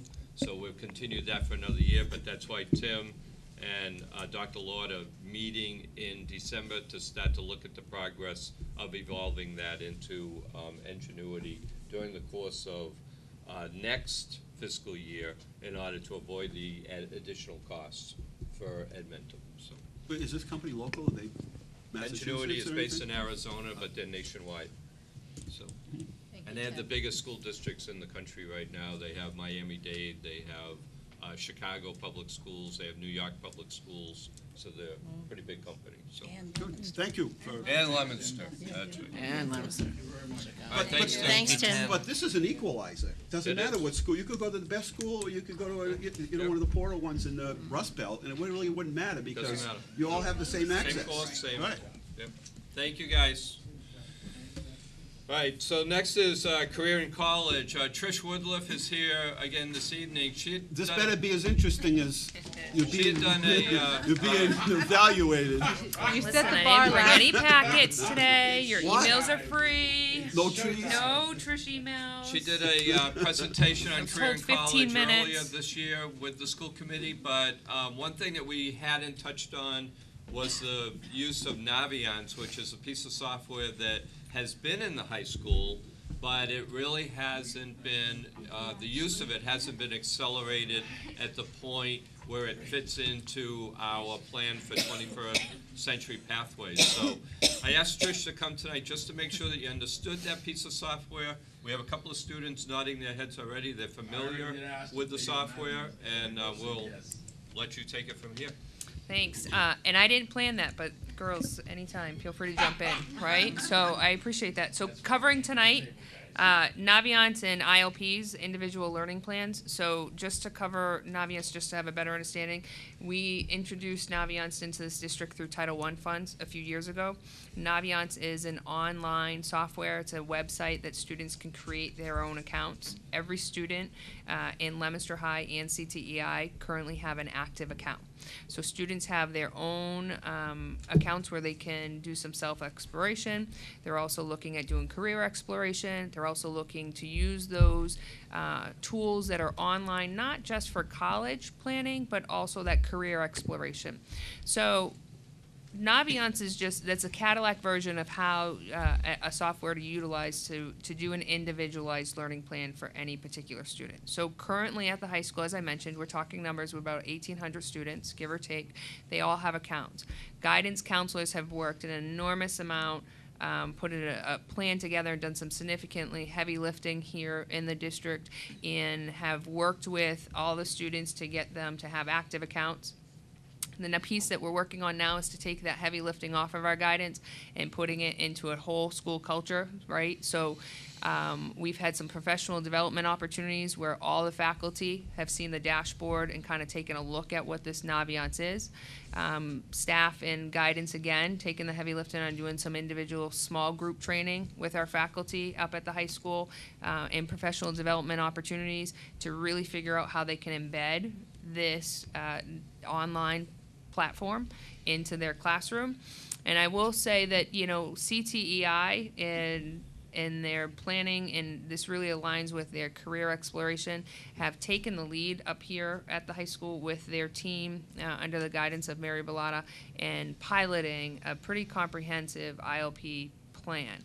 So what does that mean by comprehensive? That means they're breaking it out by grade per student. So in ninth grade, they have a list of responsibilities um, and expectations that they have for all ninth graders to be in their online accounts and work through and navigate. And they're all building on top of one another.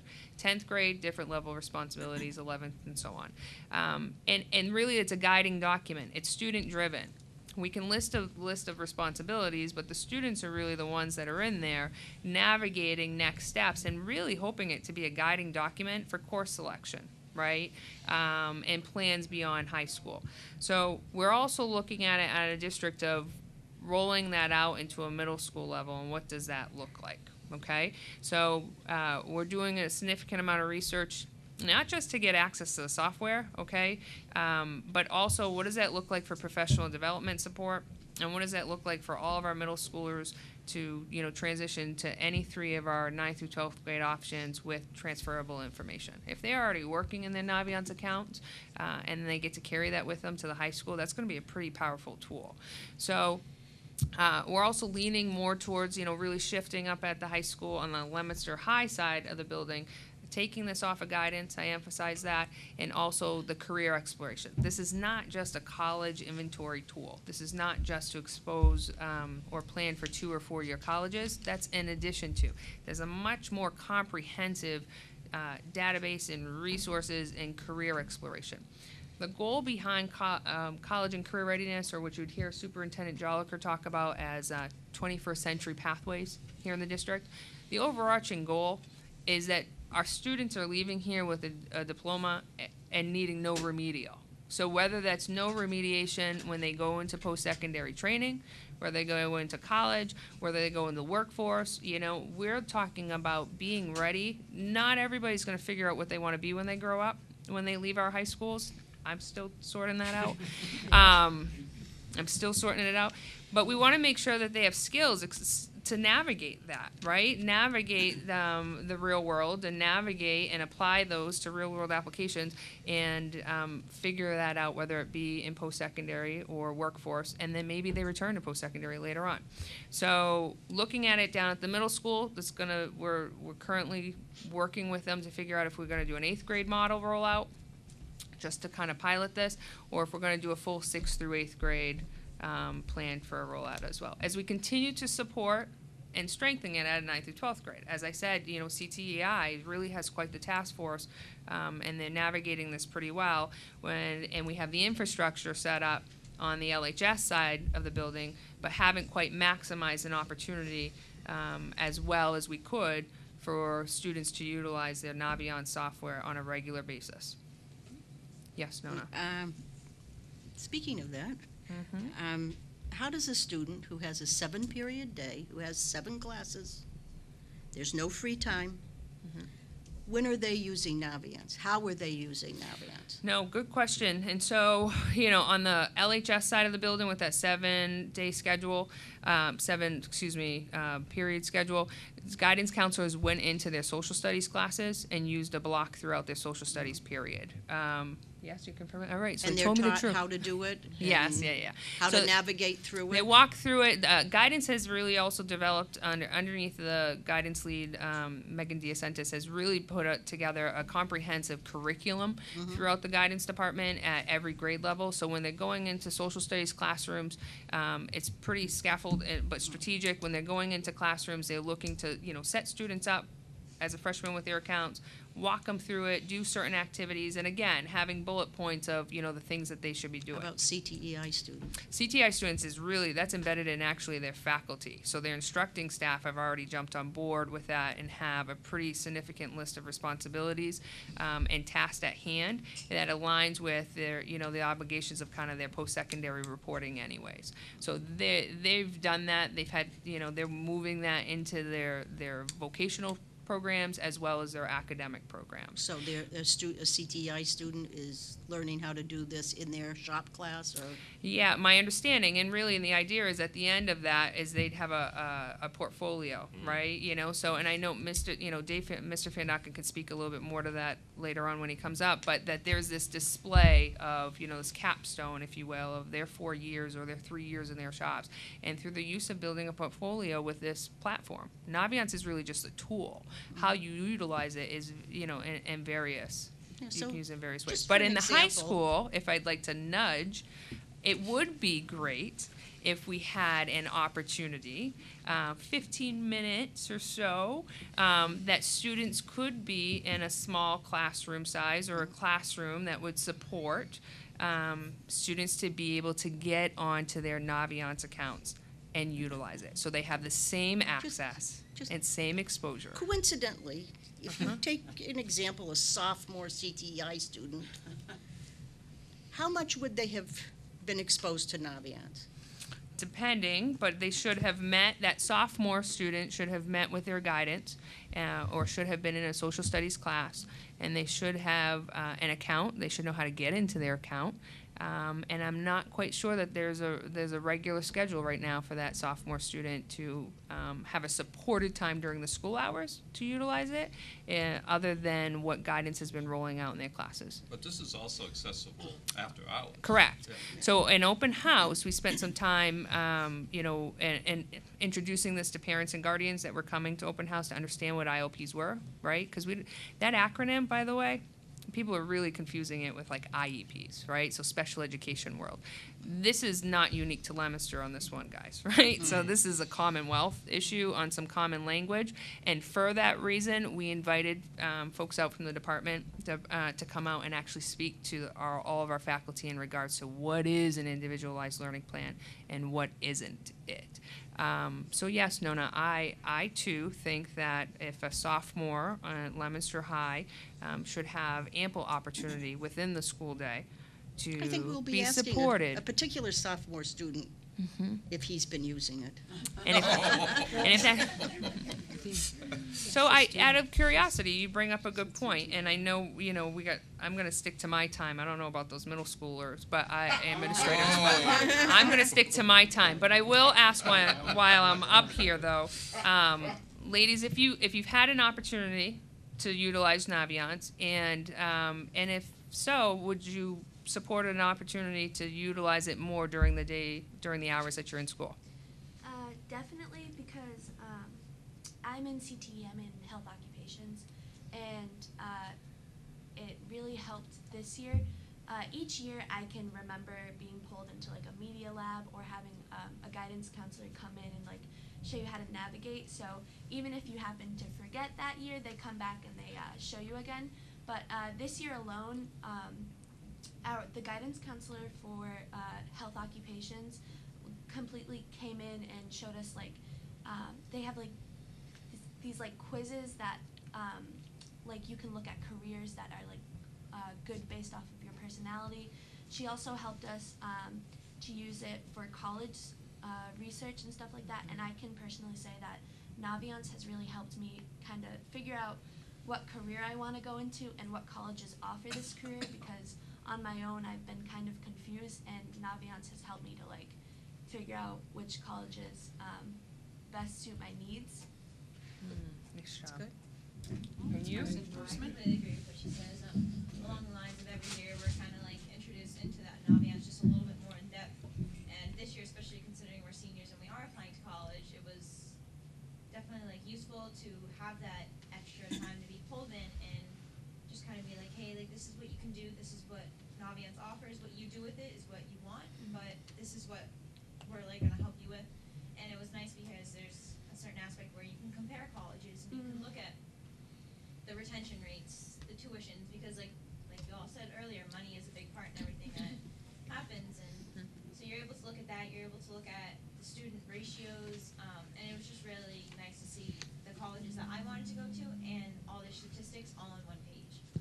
Not only that, but it's um, it's really a great place to get specific with colleges because it has literally so many options of like what a college offers. For example, like um, what are their views on uh, LGBTQ? Oh my gosh, LGBTQT rights. So if you're a strong supporter for that, you can click that this is needed at your school, and they'll bring up schools that have that. And you can also uh, put in your major too, and it'll give you schools, and um, you can select where you want to go to school, and it'll give you schools that support those rights and that have your major and are in that region. And it just gets more and more specific, and I think that's pretty important. 'cause- So it's user generated. I- i- If you, you use it, you get a lot out of it. The, mm-hmm.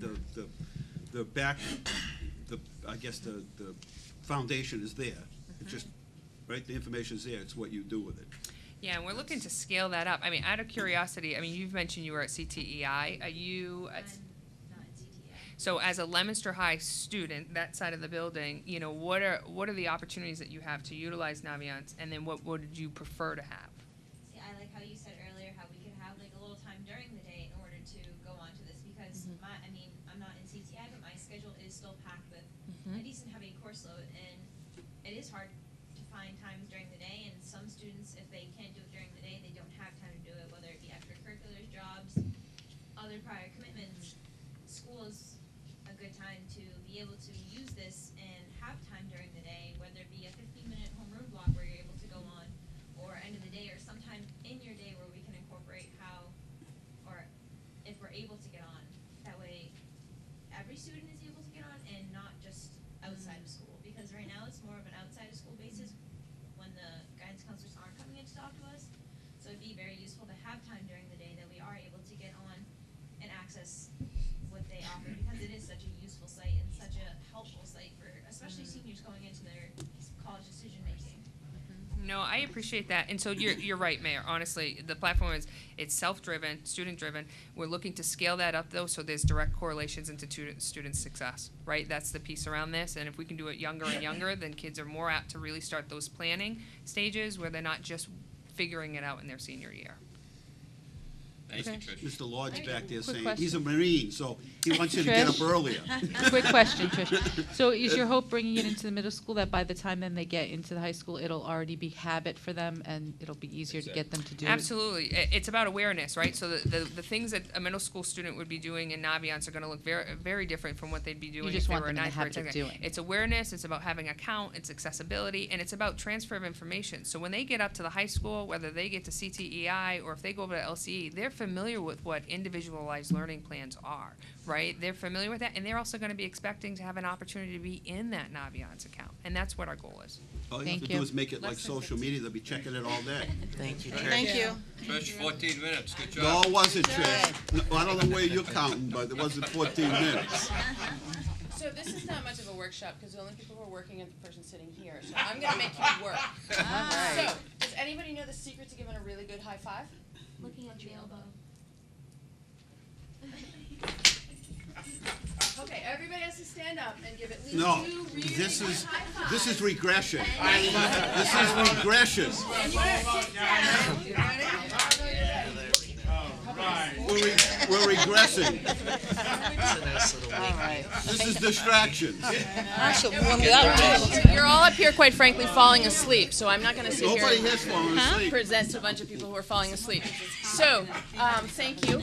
So Carrie, do I need to do an introduction, or you just No. want to take over here? That, that was it. So you guys know that at LCE, we are, um, we're all about social emotional learning, right? That's one of our primary goals, and we're also about getting kids out into the working world and having real world learning experiences. So in Massachusetts, we're really good at testing kids on all of the regular things, math, ELA, social studies. We got like some of the really most rigorous state standard tests, woohoo, right? What we're not good at is measuring how kids are progressing in their social emotional learning, even though we know that that's what helps kids be ready for success after high school, right? Helps them be life ready. And we're choosing at LCE purposefully to teach kids social and emotional development. So we had an opportunity to develop a research tool to gather some data about that work that we're doing. Um, I'm not even going to give you my PowerPoint slides. If you want them, you can ask me for them later. Um, enough death by PowerPoint. So we jumped onto the MICR project that um, Trish and Jen Mundy did so much work to bring in. What that project did is it partnered us with a researcher, um, Michelle Knight Manuel, who is a professor at Teachers College in Columbia. And we spent the better part of a year trying to figure out what it was that we wanted to know and how we were going to measure it. So, if you think about social emotional learning, there are it's it's like any kind of curriculum. There are lots of different ways that people look at those competencies, how they qualify those competencies, what they call them. Um, so we tried to figure out first of all what model do we want to use. Big picture learning has a set of non-cognitive competencies that they look at um, that are they've been they've been using them for a while and kind of looking at them in their in their programs for a while. So we jumped on the coattails of that, and we decided that we wanted to look at two in particular. Um, one of them is pretty obvious for us. It's knowledge acquired in or about a field, and it refers to an individual's ability to learn from experience outside the classroom using less traditional methods that are outside of the education system. For example, internships and projects that are developed in those internships. The other thing that we wanted to know, and this was this was kind of hard because we don't have any anything for sure that tells us this, but we're pretty sure that one of the things that derails kids um, that come and work with us is competency number four, which is preference for long range goals over short term or immediate needs. Right? So that refers to how well an individual is able to respond to deferred gratification while planning ahead and setting goals. This can include quarterly or yearly learning goals, daily work goals, post high school goals, long term vision. What we know about our kids is for many of them, whatever is going on inside of them immediately in that moment, be it dysregulation, be it outside stressors, like I gotta get my kid's daycare voucher all filled out, or I'm not gonna get that, you know, I gotta get the paperwork in for that, it's due tomorrow, or I lose my daycare voucher and then I can't go to school.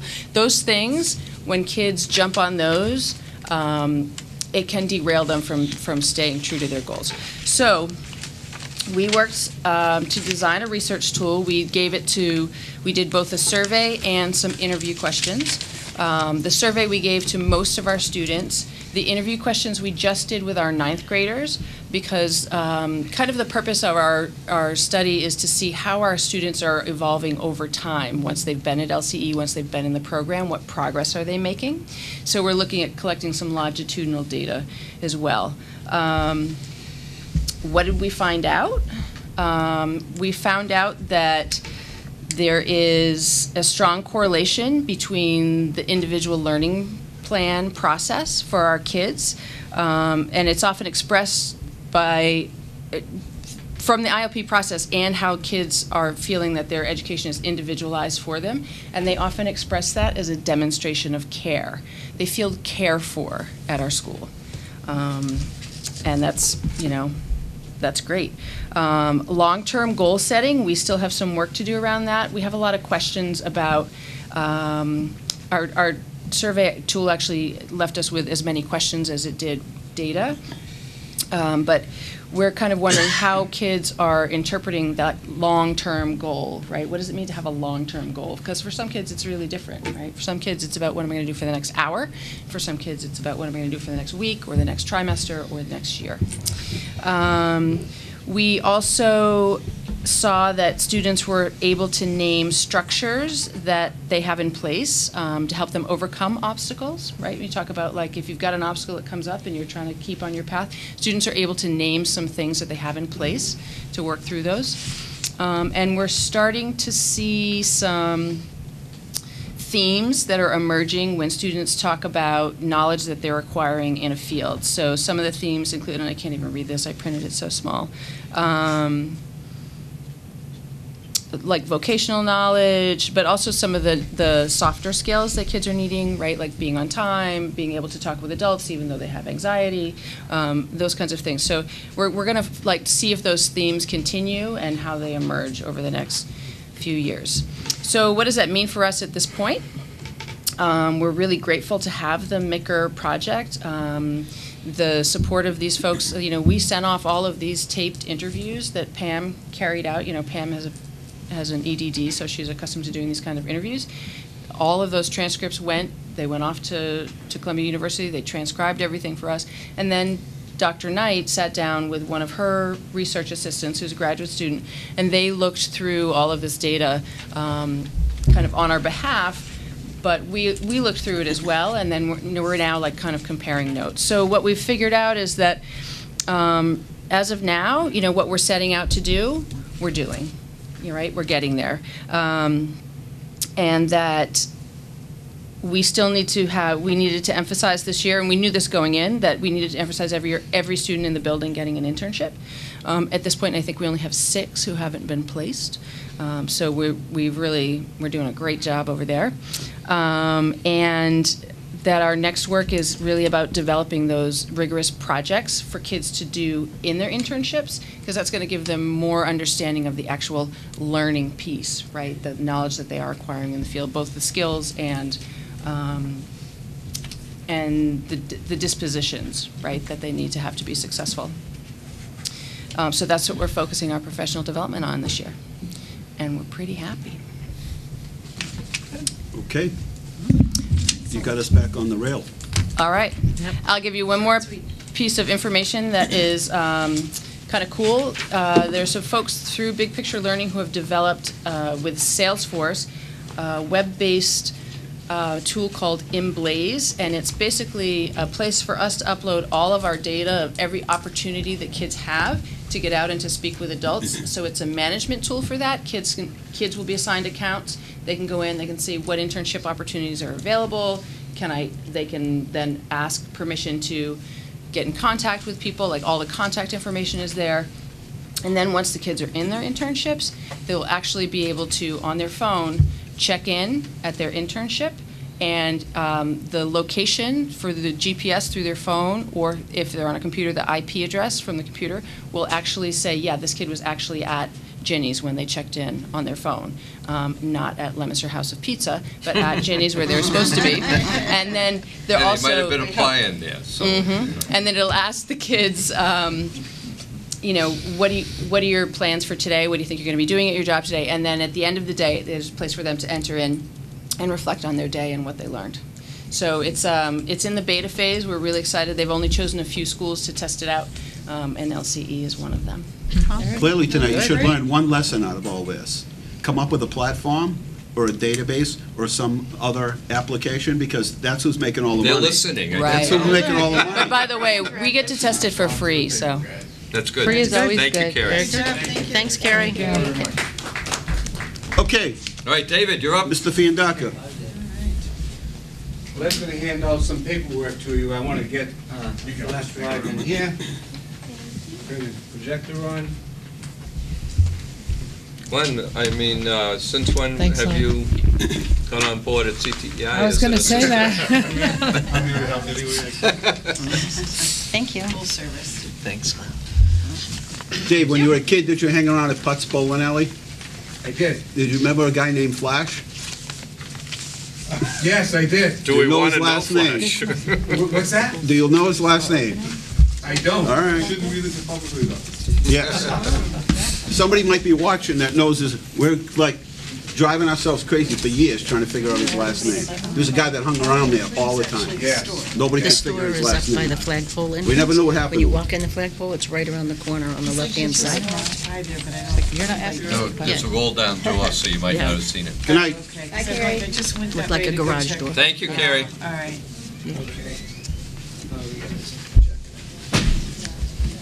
Just hit the button, it should turn back on. It's that, it's starting to, All right. I think it's starting. Okay. Okay, uh, before we begin this presentation, well, it's gonna, it's starting to warm up. Did you donate a vehicle? Yeah, we did the veterans vehicle. They did a nice job. Nice. We'll bring it up. You will be the, uh, car for veterans when they pass away. Okay. Good job. I am done.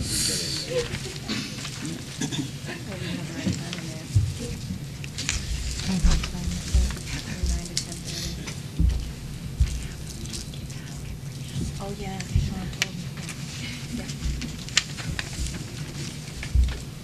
Christine, you get 14 minutes. I know. Oh. I got a late start, too. I know. Double clicking on this. How many more do we have? We have two more? Coming up, why? Oh, click on something else and just, we There should it change goes, the. there it goes. David, do you need help advancing slides? I know. this- Glenn, can you help David out? No? Is it- Do you mind if I talk? That was a joke, all right. Excellent. Uh, So before we actually begin uh, going through the slides and everything, uh, one of the things that uh, the mayor brought up this, uh, this evening was, how many students are you working with? So I wanted to, it it reminded me, I just went back to the office during one of the presentations. This is a list of all of the freshmen that go through our um, freshman tech awareness program that have IEPs. So when our freshmen, and this, this comes to about two hundred and fifty to three hundred students. So when they, when they come to us as ninth graders, um, and it ties in with what Steve Mamoni was talking about first thing tonight, because we, we need to know something about the students when they walk through the doors. And very importantly, when they walk into our shops, we need to know people, uh, our students who need help, who have, uh, special things that we have to watch out for. And so our special ed department works all summer getting this ready for us. Once we know who our kids are coming in, in the ninth grade, and they put this together for us.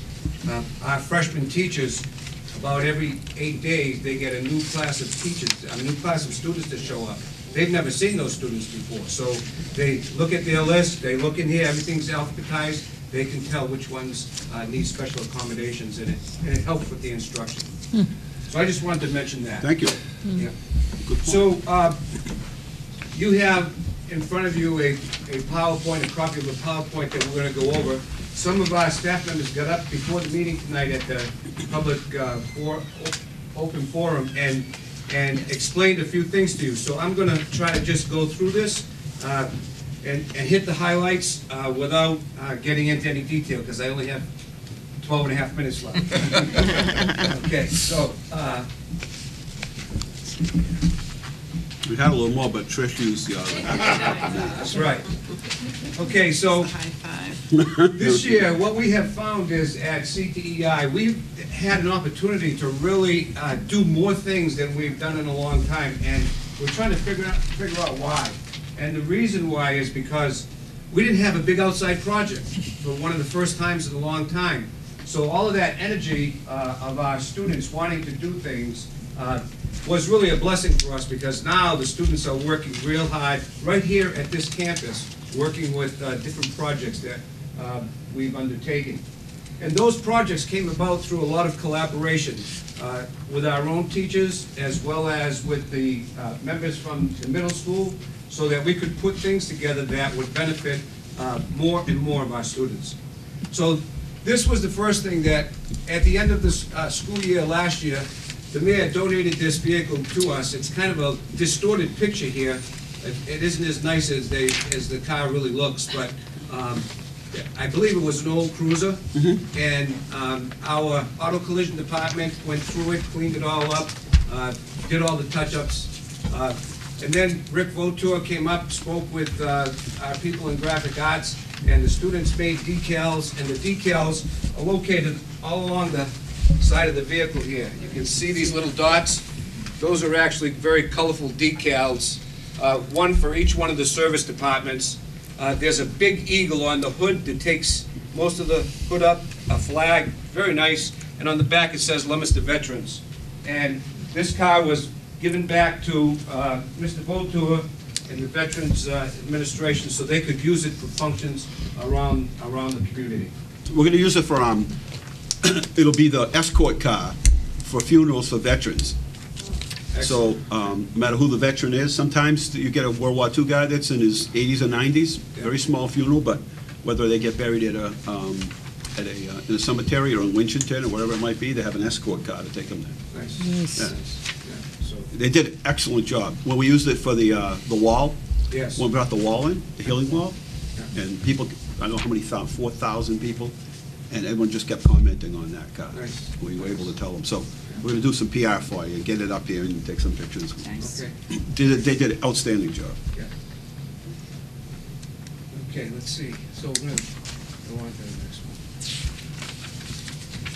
one. Okay, uh, another thing that ended up taking place, a quick story, I believe her name is Jen Mundy, came to the, came to the CTI office one day, and while she was with us, we, we, in casual conversation, we said, we used to have a middle school program, and it, uh, antennas went up.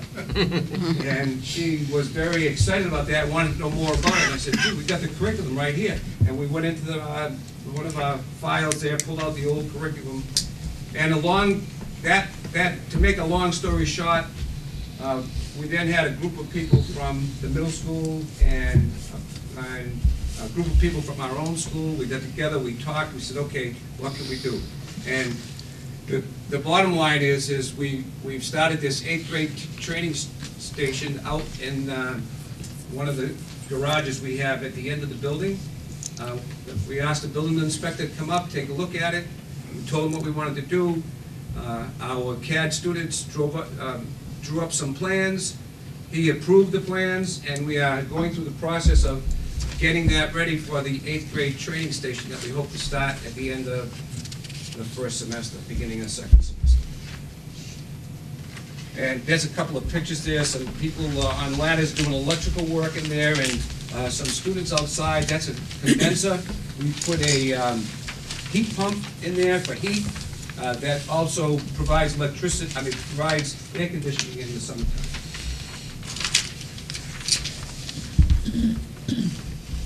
Um, Mr. Bayshant earlier this evening told you about our efforts to start a 501c3 account. Uh, This uh, talks about it a little bit. Uh, We have made up some posters.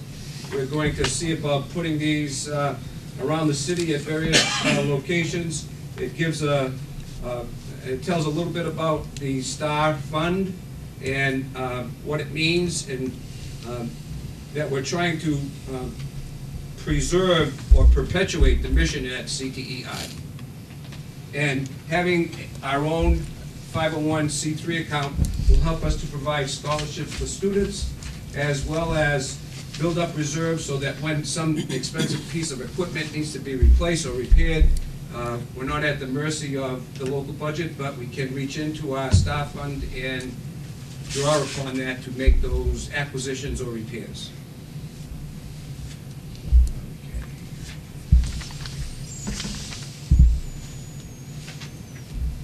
All of you are aware, because you've been, you've been following this and been voting on it, of the memorandum of understanding uh, for a preferred partnership agreement with West Boylston.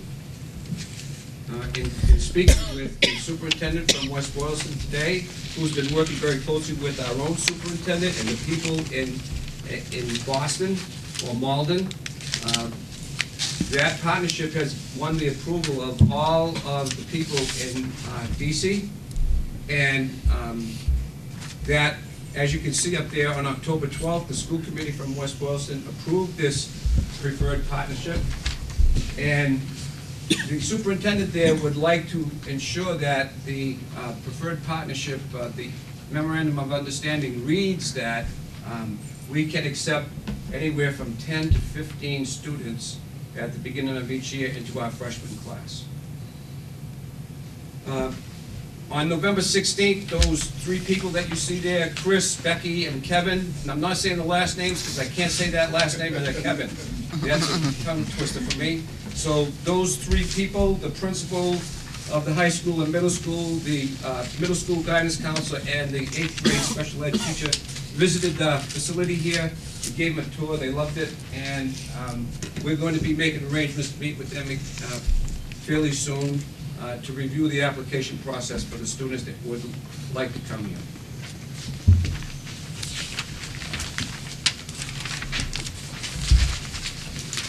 The school store, uh, all the dates are there as to what has happened this year. Um, And you all have an invitation to come to the opening, uh, and that opening is planned for um, December 19th, I believe. It's a Monday. Good Morning. And it would be right before uh, Christmas. So if you could get there, that would be nice. You see a little picture here. Um, A lot of uh, our students worked hard to get this store going, and now they're working hard to uh, create some of the things that, the articles that are going to be for sale in the store. And so if you can get to uh, the grand opening, that would be great. Um, And we plan on opening just at lunchtime during the lunch blocks for now to get started, uh, and then we'll go from there. Was that- Cash only? Yeah, mm. Cash. Yes, cash only. No, not really, but we're working on that. Digital credit. Okay, let's see, it was uh, last Thursday, um, Mr. Primarini, Kyle Primarini from uh, the Leominster Access Television invited us uh, to his studios, and I think Sandy uh, referred to that earlier. And um, up, up there on the screen and on your, um, on your handouts that you have, there is a, a link on YouTube. You can go there and you can watch a 27-minute interview that took place between Mr. Bayshant, uh, Mr. Cruz, uh, Sandy Cucciara, and myself. And we had a nice conversation with Mr. Primarini about a lot of different things in- involved with uh, the Leominster Center for Technical Education and Innovation. And we talked about probably the most important thing, the idea of trying to create a uh, TV broadcasting uh, program right here at CTEI. Dave, how is that going to work with the TV production course that's offered at the high school? I'll I'll address that as soon as I'm done this. Okay. Okay. And then the last thing, um, we are also in the process right now of building a photovoltaic learning station behind the gym and behind the rubber gym, as you come out the rear entrance of the rubber gym. And what you see in that picture is a scale model that was made by a young lady in our CAD program. That young lady worked to develop the plans, have the plans uh, retrofitted so that we were able to put- get a building permit. And when we first did this, I don't know if you can see it on, the the drawings came out, your pictures came out pretty dark, but in the middle of this opening is a post, right here. And when we looked that over, we said, all right, what do we have to do to make this strong enough here so that we can, don't have to have that post there? So, uh, the student, uh, worked on it and got in touch with the, uh, building inspector, and we got it all okayed, and, um, we're gonna have that built with no post in the middle, so it'll make for easier access in and out of the rear of the gym. So, how much time do I have left? You have five minutes. Five minutes, okay. All right, so I'm gonna finish with all of that and try to answer questions. So. My question Nona about the had a TV. question. Yes. Okay, so, one of the problems with the TV production program, the way it's run at the high school now, is that it's just an elective. Students go in there for one period, and then they leave. And then twenty more students come in for one period, and they leave. And so, it's very difficult for anybody to get into in-depth study of TV production. And what we need is, we need to have a program like a CTI program where students go in there for extended periods of time. They can take on a project and then put some time into developing and completing the project. So the idea is not to uh, take away anything from the high school TV production, but to build our own studio here at CTEI. And we're working with Carl right now about possibilities of where that might fit. Do you see that maybe the two could merge together? Maybe, maybe. See, one of the, th- one of the things that happens, if you take that area and make it a CTEI um, program, then you reduce uh, 100 students a semester going in there to 20 students a semester, we'll say. And then when you do that, you've gotta find spaces for those other 80 students to go. Right. And right now, spaces uh, space is a real tight commodity at, at, at the whole school. And we have no place to put those kids right now.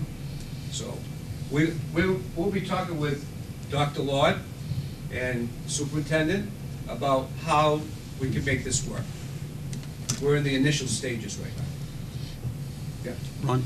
Would there, in all this rolling out of all this, have you had any conversation with Fitchburg State University? the media center? Not yet, but that's a goal that we're headed to it, because their, their media production facility at Fitchburg State is outstanding. Yes, so we, we plan on going that way. That way you can avoid dupli- duplicity. Because, you know, you, I think Nona was asking about how to combine those two, but if you don't have to combine those two, if you're gonna be using Fitchburg State and/or Mount Wachusett, using the, the computers, Yeah. you'd have everything connected. Yeah, you're right, and, and that, we need to investigate that one, and we will. The other thing is how much that's gonna cost. Yeah. Well, we looked at, uh, in a relationship with Mount Wachusett already, uh, but we didn't have the infrastructure on our end yet to be able to do anything, so uh, we'll look into Fitchburg State also. I haven't approached them yet, so. But is there any, any idea what the cost is? Well, no, Is there we a haven't gotten cost? that far, so we'll get there. Um, As a side note, and just to answer you, with Mr. Primarini, Carl, he's willing to see if he can help us with the eighth grade um, station that we're gonna develop, or that's just about done, and we're gonna see if we can get a camera in there and get some eighth graders interested in learning how to shoot film, and then edit. We'll see. I would think would be very popular. I think it would be. Yep. You know, kids like to use their phones, they wanna. Well, yeah, you, you took the words out of my mouth, because we already have our cell phones, we can make any kind of flipping show we want. I understand. So we probably have a lot of experts out there. right on board. Then they get credit for what they're doing. Yeah. Suzanne? Okay, um, Dave, did I hear you say West Boylston is looking to bring fifteen to twenty students a year? No. Ten to You 10 to heard 15. ten to fifteen. Oh, wrote it wrong. Ten to fifteen a year. So Yeah. potentially, that could be, let's say ten a year, that's forty. We could have West Boylston students in Leominster from freshman to senior? Eventually, after four years, it's possible. How's that gonna, I mean, again, we've talked about our limits and making sure our students have priority over, you know, West Boylston. So uh, is that going to fit in to our space Well, scheme? And, no, seriously, I mean, I I think. know, I know. It's a, if you ask me a question that is very hard to answer. Uh, We, we're looking to increase revenue flow within the city. We're Right. trying to get other people interested in vocational technical education. Um, As we do that, will it become more competitive to get, uh, to, s- to get to be a sophomore, junior, senior in CTI? Yes, it will.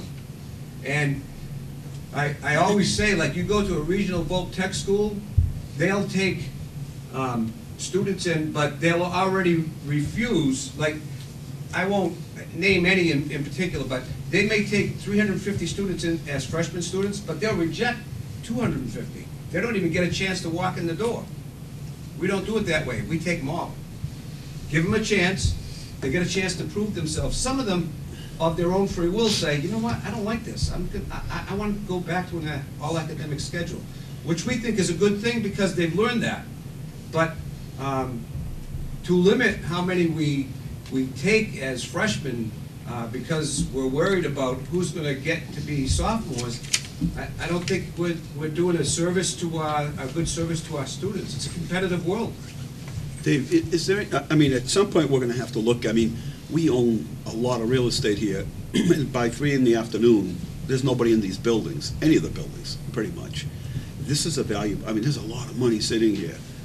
I mean, the potential, the students, you know, as we begin to the whole crossover in technology and how students learn, so will the, a time of day that students learn. So some students, you know, perform better at ten in the morning than they do at six in the morning. I, I mean, I think this is an opportunity here to leave the, you know, this building open, you know, CTEI open longer, and see if we can't offer more classes, because this whole area can't fill all the voc ed demand. No. And it can't react to the change. And if we can't, somebody else is gonna come in and do it for us, whether it's the federal government or one of the colleges, because that's gonna be the, that's the trend now, is exactly what we're doing, only, so I, I would suggest we kind of fish around and see if there's not interest somewhere from other schools or even our own students to utilize the space we already have. We already have an entrepreneurial effort underway to expand evening classes at CTEI, hopefully starting as soon as possible. And also your next topic, which is your last topic, they're going to be talking about fully utilizing the building down the road, so.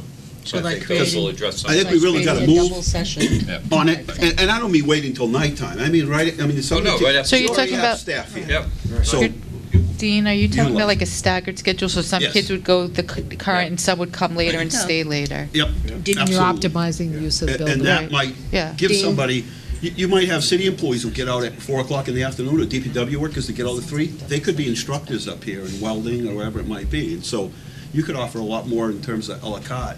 Uh, there's a gentleman in town that's looking to open a school for welding because there's a shortage of welders. Yeah, And but Dean- No voc tech meets that Were demand. you, were you part of the double sessions? Yeah. Way back when? And staggered. We did Yeah. staggered and double. Stag- yeah. So I took English at five o'clock at night or something. And, Didn't go over though. yeah, I was gonna say, I don't know. No, but for some students, on a technical end, You know what, um, and this is a good point too, I think, that we have to consider. Even with That's when I first started, I worked till six at night. uh, schedules. for Came in at students, 10:30 and you worked still till have six the at teacher night. to student ratio. So sometimes if you're gonna, if you're gonna increase the amount of Particularly students you this have, time of year. you're gonna have to look at When it got pitch getting black at teachers too. 4:30. Right. So, um, one of the things we talked about, I, I already spoke about this to Superintendent Jolicoeur. Um, We're down a graphic arts teacher, and it's, and it's hurting us because we can't do the things we used to do. And now the graphic arts people want to take over the running of the school store for us, which is a great thing. But we need, we need that third teacher in there. So I've already um, humbly asked if we could take the money that's coming in from uh, West Boylston, the extra money that's coming in from the, the tuition that we're gonna get, and hire that third graphic arts teacher back. And we've already done the graphic arts department, and we- by doing that, we think we can fit at least three more students into the graphic arts department with another teacher. And, and, and do more things with the students.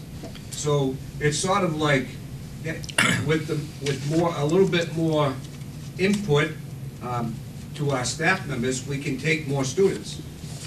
But if we don't increase our staff, it's pretty hard to, we have limits from the state. You can only have so many students uh, per teacher by safety standards.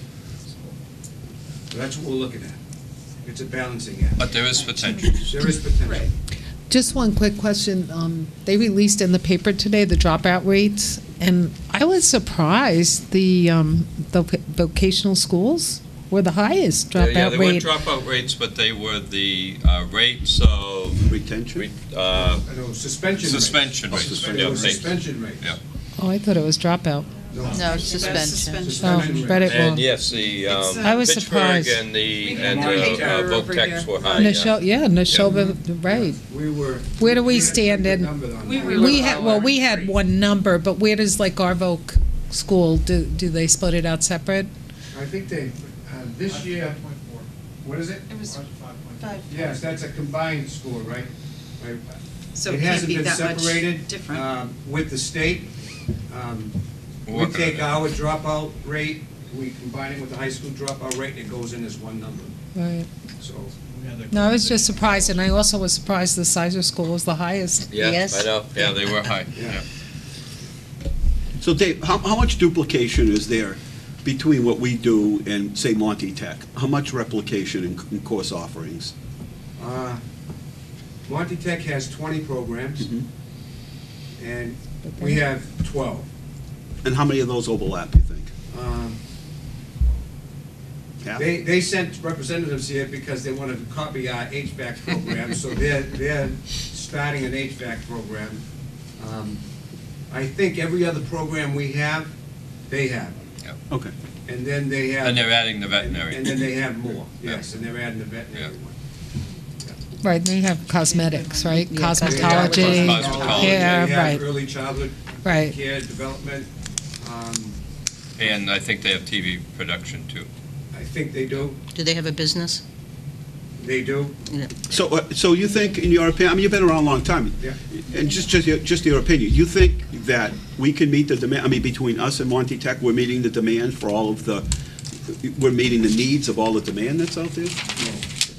So that's what I'm saying. It seems to me there's opportunity here. Yeah, there is. Because we have resources. Yeah. And the building goes stagnant at two, three in the You're right, afternoon, you and I, know? I think we've had that Yeah. discussion. It's too bad that the building does empty out because it's just sitting here. Right. Yeah, and if we could, if we could figure a way to get it to be utilized more. Well, I think the school choice money that would come in as a result, it does, school doesn't necessarily have to begin at seven and end at two-thirty. I mean, there might be students who prefer to come in later in the day and, you know, learn their trade, uh, or take their core courses during the day and then, you know, take the, the, the technical part in the afternoon. Yeah. Um, It's just a changing world. Yes. It's a twenty-four-seven world today. Yes, it is. Yes, it is. And we're ready to meet it, right, David? Yes, we are. Okay. Thanks, Steve. Good, thank you. Thank you, Dave. All right, last up on the uh, agenda here, uh, we have uh, the work that is uh, kind of uh, been addressed by uh, Dr. Lord in the past. Um, We've been doing a lot of work around developing the Academic Support Center at Leominster High School, and it's been primarily because we have had a shift of demographics and students, um, and we've identified the fact that there's been a higher population of um, academic students that have um, needed a little bit of additional assistance as they get through their freshman, sophomore, junior years. So um, Ned has kind of joined some of the uh, discussion around um, the Academic Support Center. So Chris, I'll open it up for you and then let Ned make his comment. So thanks. Sure. Uh, This will just be a continuation of conversations of um, things you've heard about before. Um, About a year ago, I was talking with you about why our school went from level one to level two. And we discussed, as Mr. Jolicoeur mentioned, um, that subgroups that are within our population are growing, and they're more challenged for their success. These are our English language learners, our special needs population, and our um, economically disadvantaged students. So these are the three subgroups that we're trying to get our arms around and try and get um, a way to help them. Um, Study through the course of the year led us to the fact that the high school schedule needed to be modified slightly so that we could accommodate these students a little bit more successfully. So the first thing that we did um, as we built the schedule uh, through last January, February, was to create an ESL program for our English language learners. Uh, We now have six teachers assigned to that ESL group. They all have common planning time, and they're like a freshman team. So once a day, every day, they can sit down and talk about ESL, ESL students. The ninth grade teams have already, always been at the high school, uh, but they've only had one common planning time. Now they have two. So the ninth grade teams are able to meet twice a day if they need to, to intervene with those kids that are at risk, those ninth graders. The other thing that happened with the ninth grade teams is the, the teachers who were teaching ninth graders, because they typically tended to be the less tenured staff, they moved all over the building. They had different classrooms everywhere. So what we did now is we've taken each of the four teams and we've clustered them right into one particular area of the building. So when the kids go to class, they go right across the hall. And there's a very tight internet type of family communication that can happen between the English, the social studies, and the math.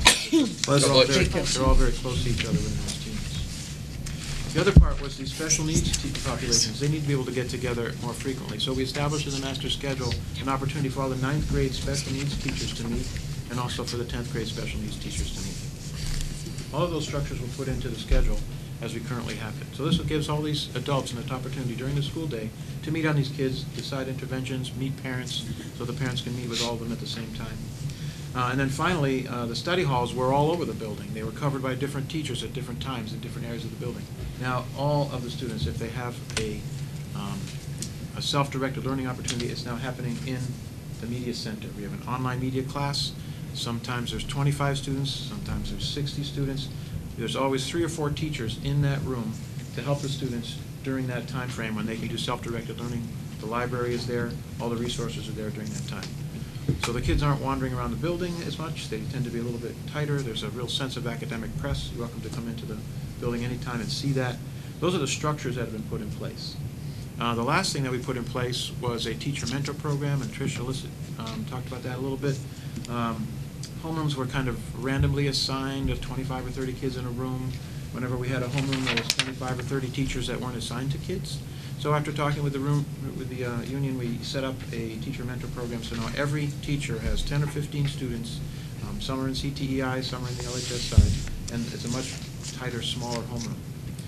And the last thing we've set up is within the Aspen database, we can have a much more nimble schedule. The way the schedule was set up before, it defined the entire year on day one, is a day one through seven, and it was not very flexible. On a day like today, where we only had three classes and they had varying different lengths of periods, those had to be randomly, they had to be scheduled and then hand, the bells had to be hand rung for those.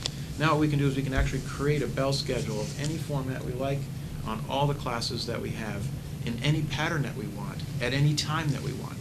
Now, we're still running the schedule as it always runs, but the flexibility is now there to put in a 15-minute homeroom if we want to on a particular day, or to drop it in the middle of the day, or to have the classes double up. I mean, whatever the community wants to do to try and improve performance or experiment with some new way to do with the instructional time during the school day, that has been built into the Aspen schedule. So what the most important part is, and that is what this is right here. Oh, I did want to mention just one other thing uh, that our teachers did. Um, On the professional development day, our English language learners are the most challenged. So on November 8th, we had about 20 of our ESL kids come in during the PD day, and the teachers assisted those kids to get ready for the math MCAS makeup, which was the very next day. So we've got a really good committed group of teachers that are willing to help out these, these groups, and now we've got a lot of interventions in place. And the best one I think we have is the Academic Learning Center. Um, that- Everybody looking at this? This is a build on the program that was here already and met the needs of many of the students with special needs. Um, Laura, Danielle, and Jen have been working in those three classrooms for the last couple of years in a tutorial setting for students with IEPs. Those rooms were unused during the other blocks of the day. So where you see uh, Melissa and Gokin and Karen, Mike Still, those are people that are regular ed teachers that are available to either do a drop-in during that time frame or to be scheduled during that time frame to do a student that had some need of assistance. You asked for some results. This is part of the results. Last year, every quarter, we had somewhere between 150 and 200 students failing two, three, four, five, six, or all seven of their classes. So we need to do something to help out those couple of hundred kids every quarter. We've had this academic learning center in place for one term, and we're already cut that number by forty percent. There was just over hundred students that failed more than two classes in the term that we just passed report cards out last week. So there's some results that I think we're getting to based on these interventions for these kids in need. Our goal is to get back to level one, try to get as many supports in place as we can for these kids, and we've got just about as many as we can put in at this point. Um, if we use the uh, online media class, if we use the common planning times, if we use the academic learning center, we should be able to get our arms around those needy students and get a successful program for them and hopefully get us back up on top. Um, The Academic Learning Center has a lot of opportunities there. Uh, There are some needs. We talked with the staff about what they thought would be helpful. Um, There needs to be a little bit better understanding uh, about how the Academic Learning Center um, is utilized for the academic staff and how teachers can use it. Um, They're looking for Ethernet drops to take either Edmentum or Edgenuity to the next level within that room, so the kids can do online learning during that time frame. Uh, Ned will talk a little bit about how that cannot be focused just within the school day, but might extend after the school day, when kids can come in to the Academic Learning Center do that online learning. Um, If you look at all those dark numbers there, uh, Mike and Gokin and Karen, Melissa, those are all regular ed teachers. What we had to do is we had to increase the class sizes in the regular ed classes so that we could free those teachers up to put them in the Academic Learning Center. That fourth staff member, that third bullet down, will allow a- another person to be in there. You know, it's back to the staff, kind of like what Dave was talking about. If we could have a fourth person in there that was specific to ESL, a specific for an ESL support person in that academic learning center, that would be of most value, and we could put those teachers back into the classrooms and reduce the class sizes in the academic classes. Um, Testing accommodation site with a staff member, IXL software, maybe you know a little bit more about that than I do, and a new course for ALC students was suggested by our staff um, yesterday on socio-emotional intelligence. Um, Sounds like a lot of the stuff that's already going on at LCE. So that's where it is. Ned, you want to fill in the blanks? Sure.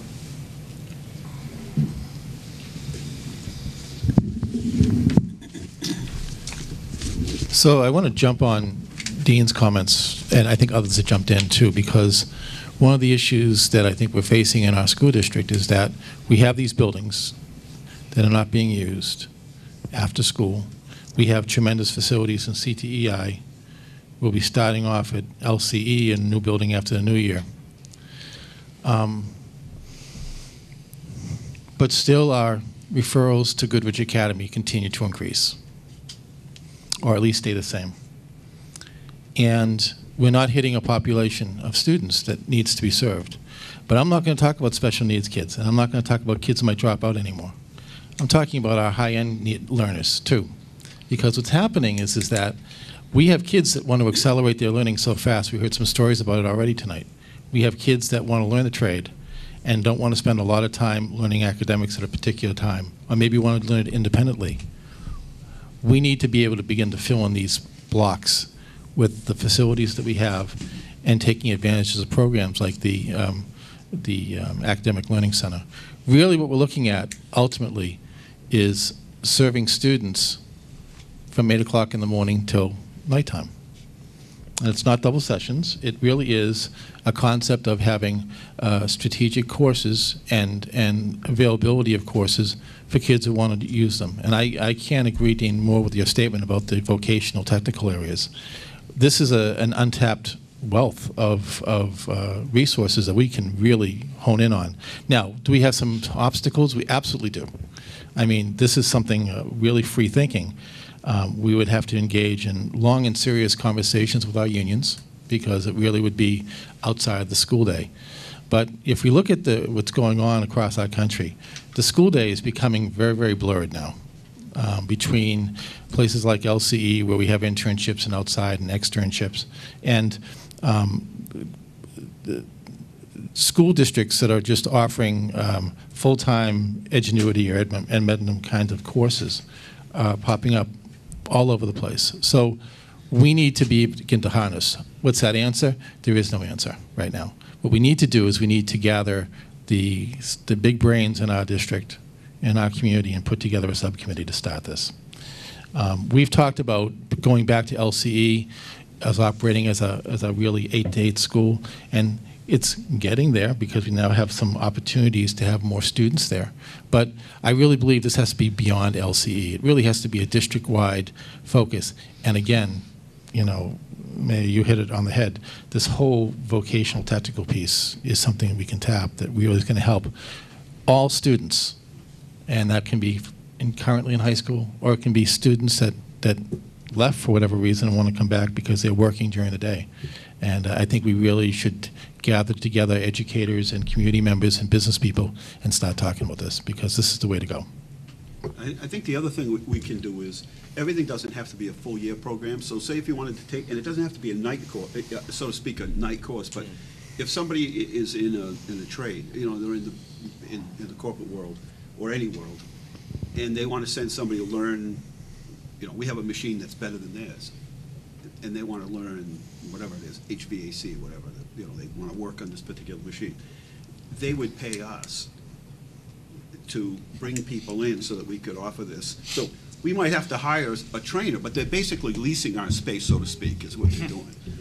And, but I, I know because I've been part of these conversations, it's gonna happen with, it- with or without us. And I just feel like we're gonna miss the opportunity if we don't get moving. But I, I think probably the thing that maybe you could do to fast track it is, a lot of the colleges offer, you know, their students who are in their master's program or their doctorates, you know, um, a project that they do, you know, as a collaboration amongst different divisions in the school. Maybe we can apply to them. They do a lot of legwork in ter- terms of putting together all the pieces. And maybe they get us a little bit closer. You know what I mean? Because everybody's busy, so it's hard to just put a group of people together and then do irregular work and squeeze in something else. But that might be an opportunity for, because it's going to happen. I mean, I don't know if the governor said it today publicly or not, but I mean, one of the things he's asking is that more businesses offer more internships, especially in the areas of STEM. And he's specifically talked about um, high schools. Mhm. And he wants um, them to open up their businesses to high school students because the rest is easy. Just get them in and sort of get them familiar with what it is that goes on and fascinated. And the rest is just easy sliding after that. Couldn't agree more.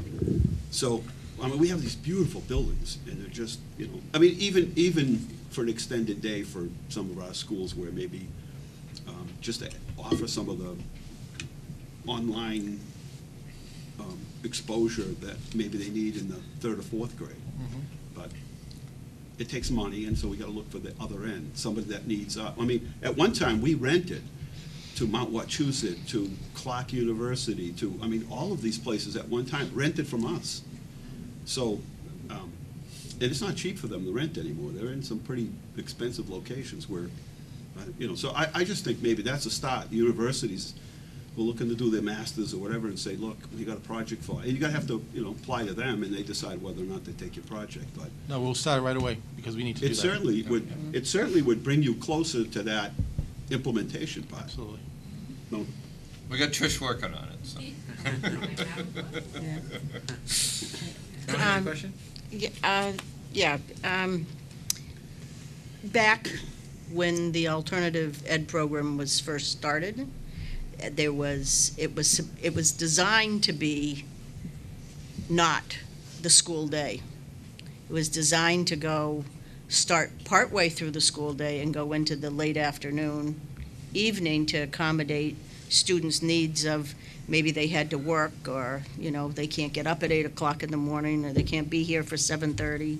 Um, But that kind of fell by the wayside uh, because I think it involves money. I think it, you know, it concerned monetary value and um, as Ned said, I mean, there's contractual issues that would have to be resolved.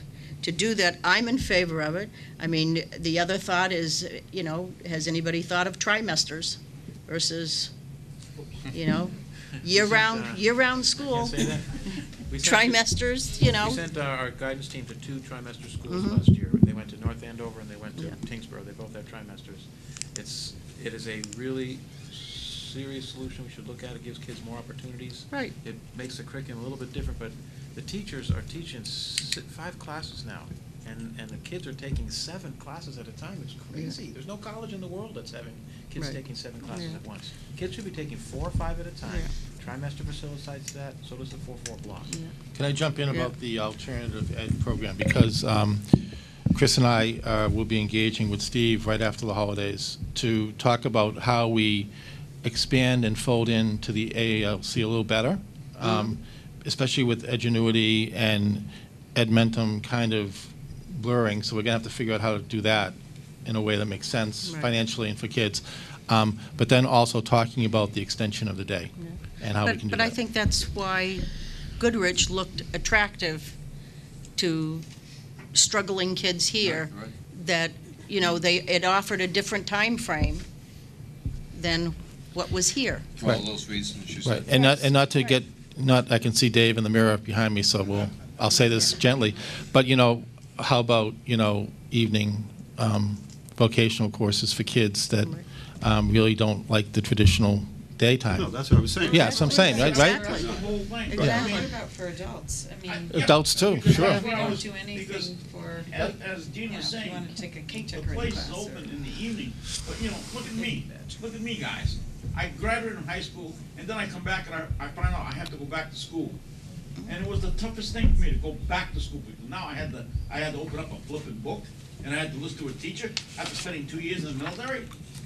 Hello, there was not Yeah, but I mean, but, I mean. All right, hold on, Wendy, Wendy, hold on, hold on, Wendy had her hand up Yeah, before go ahead, anybody, go so ahead. go ahead, Okay. she waited Okay. patiently, go ahead. Thank you. Wendy. So, um, I think one of the things, I wish Carrie was still here, that we, we see with LCE that works is the alternative schedule, that not necessarily the seven to three, because they're doing three days a week of nine to four, and it's working there, and the teachers who are teaching there are okay with this too. So I, I, I think that these alternate schedules and can be very successful. We just have to get people on board. There are challenges with transportation and with, with the unions, and those are all things to keep on the radar, but I don't think that should stop us from trying to um, capitalize on what we have because we have three great high school programs and we have amazing we I think we're very lucky in Leominster we have some really amazing teachers. So there are challenges, but I think we should not we should definitely be looking at these alternative options because we'll get more students in, we'll keep more of our students, we'll we'll hit all those social emotional buzzword bu- buttons and we'll graduate more successful students and we have an adult population who could probably use night courses for retraining because that's Right. something that a lot of people are struggling with. But I Um, mean, I- I mean, I think, I think that's true. I think there's an, uh, an element out there. I know my husband came back um, in his late 40s, early 50s, and took the um, plumbing course here to, because he needed to get certified again to be a plumber. Right. So Um, I think these these so, are I mean- we have the resource. We just Right. have to figure out the best way to use them Right. to make it more attractive to keep our students and to attract students in. And, I agree. and looking down the road, you- you use the word blurred, it's exactly what's gonna happen is, education is gonna look anything like it does now. Every student will have an internship, will only take four courses, the other three will be online. God bless you. Bless you. Thank you. And the rest of the day is gonna be in some working environment somewhere, but think about transportation. When there, uh, less and less kids are getting their license, we all ran down to the registry and got it exactly that day. Less and less young people are interested in getting their license at 16 and a half years old. They just don't care, it's not a big deal for them anymore. They'll use public transportation, they'll walk, they use a bike, they go to the inner city. We're gonna have My son, who's 20, just got his license last week. and that's okay. No, there's nothing wrong with that. No, it isn't. It, it, there's not that, it, there's not that dependence upon it anymore, and it's twenty-six hundred bucks to get insurance. Furthermore, you're gonna have, in five years, ten years, you're gonna have driverless cars. It's all gonna change, but so is education, and if we don't get ahead of it, in some way, you know, we're, we're, we're at that critical point now, if we don't get into it and make it more blurred than it ever was, then we'll be the people still driving a car down the street while everybody else is passing us out with their driverless, you know, Absolutely. automobile that parks itself, and you tell it what to do, and it does it, and orders for you on You're Amazon. talking about Knight Rider now. It's true, though, that's what it is. The biggest thing that is governing our coming. behavior is the internet. All the online classes, I mean, the- the, the adaptability of using either this or that for classes, we still don't know the maximum output, you know. Principal Wood was saying, no kid should be taking seven classes, but you know, the thing of it is, those are limits being set by people. I'm not I'm not contesting you, but you're setting that limit. What happens if there's a kid or a guy who wants to take more than seven classes? You know, as I think Jim or Yeah, but it's not was for saying. everybody. Huh? It's not for everybody. It's not for everyone, but, there's a terrible word, but, there are some people who will do that, just to, just to spite us. Not spite, Ronnie. Not The to graduate spite, it's spite. It's just for them to Somebody- learn it. Because somebody Right. says, oh, you can't do that, and somebody says, you know what, No, I'm it's gonna not- do I'm- it, I'm- and you're gonna it's see all what's about gonna happen. learning. The Yeah, kid- I you don't know, think Ron, it's it- spite. It's interesting, because the kid, the exchange students from Beijing said that they have to take seven courses, and they have an hour for every, um, of homework for every hour of, of every course. But what they said they like most, and I've heard this time and time again from students from everywhere, is that they like our education system better because it gives them more time, less pressure, gives them more time to study the things that they like. So when they come here, they don't study any less, but they study the things that they like to study. In other mm. words, they're free now to, to be able to study. They- They're not, they're still studying six hours a night, but four of them are in areas that they like, that they're actually want to excel in. And that's the difference between our system and theirs, because theirs is just a point system. If you don't get a seven hundred, you're done. You're, you're, you don't get to take the test again, and you move on to your occupation. Your destiny is already decided by your test score in your senior year, and it's over. It, it, so I don't think it's any less. I think people will just do, you know. Differently. Yeah, they just Different. will learn differently, More sure. or less, right. Under less pressure. That's what the ILPs do too. They help students focus in on their individual learning, what they want to learn, how they're going to learn it, how they're going to prove they learned it, and have work product to show for that. And it, I think the days of an, of all A's being an indicator of a good student are falling away, and it's more of what have you learned, and show me how I can tell you've learned that. Well, look Show how me many- your portfolio of what you. Yes, show me your work product because anybody can study hard one night and get an A the next day. Do you, do you remember what you learned? Can you can you access Enough to that? pass the test. But can you access that later to actually make good use of it? And that's what these this different way of evaluating students is giving us is that they're showing that because they wanted to learn this and they figured out a way to tap into that and really retain what they're learning, it's a much better indicator of what they're getting than just a good report card or a good SAT score. Competency and skill-based. Yes, and this is what you were talking about, is you For heard. 23 years. Yeah, And you said here a few on. meetings back, talking about, you were hearing from businesses in the area, that a lot of those soft skills are missing, that people are coming for in, in interviews, not even knowing how to talk to the person interviewing them. These are the things that we can, that we can make up in this different style of learning that's happening now. And look how many schools are doing away with valedictorian, salutatorian, all Right. those things, doing away with ranking class, more focusing on a project, what, what, um, Capstone project. Yeah, what- Yeah. Application of knowledge. Exactly, What the yes. child has done in the Right. community, service, service-based. And I think Yeah. some of those students that end up in Ned's office looking, needing to be outplaced, because they don't fit traditional learning styles, and if we could be more accommodating, we'd be able to keep more of those Would you all be students. willing to come to our next faculty meeting and make these exact same comments? Well, y- y- that was, that was another question, Chris, is, you know, you- I think you're, impl- I think you have a lot of good ideas that you want to implement. I don't want them to have any credit with me. I don't care who gets credit for the No, ideas. no, are. I'm just out there. saying that, you- I mean, you've come up with, but you need to sell it to your faculty, I want them to come up and I'm gonna say, great idea. you know? I- I mean, Yeah, I mean, I've I already just, tried to sell I these just, things. I know, it's, it's been a tough, Yeah. it's Change been is tough. Yeah, change is tough. But, it- but it, it, we're gonna need to get more of the teachers into the workforce so they can see, because I hear so many students, when I ask them, well, how did you get interested in this? And they're like, I was in here with my father one day, or I went to work with my mother one day, or my father is a repairman for something, I walked by the lab and I saw them working in the lab and I wanted to know what they were doing, and that's how I became interested. That's, that's, That's real life. I hate to take away your personal training sessions that you have up here with your, uh, you know, but that's probably a Someone place to builds go, the is take them into the workplace and see what, Profile what of goes a on. People find their passion, and money is less significant, right? I think the next generation watched us fools work a billion hours, think we needed houses that were eight thousand square feet with thirty-seven bathrooms in them, and they watched us do that and realized, that's not. Now they want a tiny That- house. That's, yeah, now it's like, what? Go ahead, you're gonna bring up a, Um, here at LA, just to kind of do something like that, we have a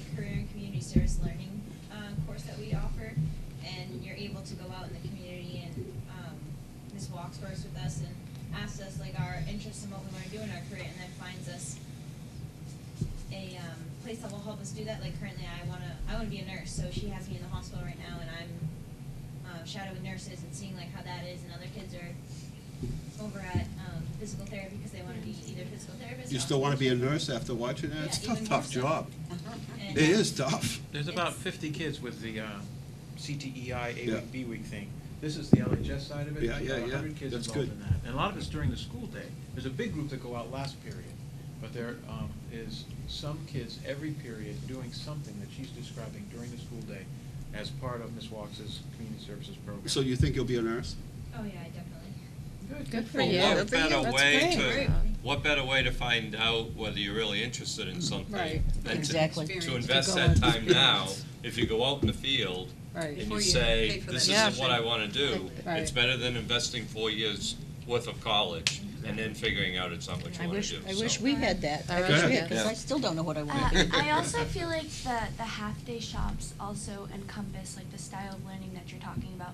Because I'm in health occupations and I take three AP classes and um, I have my shop and on days where I have every period of my shop, I go out and I observe an occupational therapist up at the Samoset preschool. And that's how I knew that, like, I had some idea of what I wanted to do, but I also observed um, a physical therapist at Ramsey Rehab, and I'm observing an occupational therapist, and it's all because of like the CTE that I'm in. But I also have the opportunity to take like the more challenging classes, and I feel like um, I don't like you said, change is tough, but like the expansion of like half day shops might encompass what you guys are talking about. Because some days I'll come to school and right at eleven I'll be going off into something that interests me, and it's amazing how fast the day goes by because I'm here watching the occupational therapist, and it really helped me figure out that that's what I want to do. And also in the shop, um, I thought I wanted to be a nurse too, but then after going to the nursing home, I realized it wasn't really for me, and I was able to find like a new career based off of that. So I really do think that the half day shops are really important, and I feel like, um, I don't know, I feel like you guys have like this idea of like this uh, new um, way of learning, but we kind of already have one. And I'm not saying like we should think. No, it's just more of it, More. is what we're Yes, saying. that's what we're saying. Right. We think Yeah. that More what diverse. we're seeing needs to be expanded for more opportunities. Good. Yeah, I- and Thank do you, you. do you agree that people, uh, that your generation cares less about monetary, uh, physical, you know, m- money-driven things or than, than the, the generation before you, and more about the balance I of don't life think- and I having don't a a that. good balance? Be careful how you answer that question. Maybe a little bit, but like me personally, I don't care how much my job pays as long as I don't wake up hating my life. Well, that's what I'm every day. saying, right, right, Yes. right. And there are a lot of people who took That's a job great. that are working in a cubicle off of one twenty-eight, who never see the sun, they couldn't tell you it's rain, but they make big money, they have good vacation, and they got stock options, but they're miserable. I talk to them every day, they, well, you know, they're hoping that there's some miracle and they'll come back as, you know, an actor or We don't have any kids going out on internship into a cubicle. Right. It isn't happening. No, but the, the road's loaded with them, I hate to tell you, it's just, it's the way it is. All right. Thanks, everybody. All right. Thank you. Thank you. So, what's our Just- core? You know what, I just wanted to um, thank the young lady. She Yes, were thank very you. Yes, thank you. Yeah, thank you. So thank you very much. Yeah, thank you. And we'll get you your line item budget when we approve it. I do think, um, so what, what is our focus for the next meeting that we have, we have a regular meeting? Um, the regular business meeting, right now, we have, um, we have the results of the, um, uh, work that we had done with K-12 Insight for the staff. I mean, it actually was a community survey that we did. We have those results. We'd like to be able to share them, um, with the school committee at our next meeting. And what else did I have on the agenda? I had one other thing that I was gonna discuss with Sue. So, um, So, I'm, I'm interested in, I'm interested in having the ability to offer more of these courses that are online. And, and so I'm Okay. interested to find out how many students might be interested either. would you like them to come in sooner Well, rather than no, later? I- I'm just Okay. interested in, how do you go, how would you go about finding out who would be interested in what? How many in- involved, and what the budget would be for that? Okay, sure. Only because it sounds like there might be students out there that because of the cost part, can't take some of these courses, which I really do think that there's sort of a s- hopscotch kind of thing, one leads to the next thing, and, and it seems like a very inexpensive way to Let's get out offer the data them. on that then. So I'd like to Yep. know, Can, could I ask for, could I ask for? Yeah, somebody's got- Two other pieces of data that I'd like to Yeah, see go ahead. is, I'd like to see a report of summer school Um, We in have- regard to, in regard to how many, how many attended summer school. You know, Daryl used to always put together a report and come and present it. He didn't do it last year. He, um, we have, we haven't had it in a couple of years, and I Okay. think it'd be good for us to see, uh, what kind of numbers it was. And again, maybe rehear about the, the number of kids from, uh, the eighth grade that, that had to do a summer school type program. And the other is, um, class size. We had, we I- had the October one I data. gave you all the class Yeah. sizes We had- last meeting, or two meetings ago. Right, it was in the October one thing, it had all No, we had the sizes. October one things, yeah, that was, that was student attendance. I, I'm looking at class size, like how many, you know, uh, last year we got a, a master class list from the high school.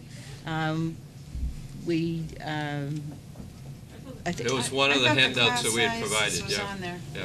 I It's thought broken out too. by school, by grade. Yeah, no, I'm talking about the year-to-year comparison? English. Oh. This English class had twenty-five kids in it. This I don't had think we eight ever kids in had it. that at the Yes, high we did. school. Yeah, we did. We got it, we got it the year, we got it a year ago. The high, s- just the high Yep. school? Yep. Because we had all the other grades. Yep. All right, so you want, um, okay. All right. Okay.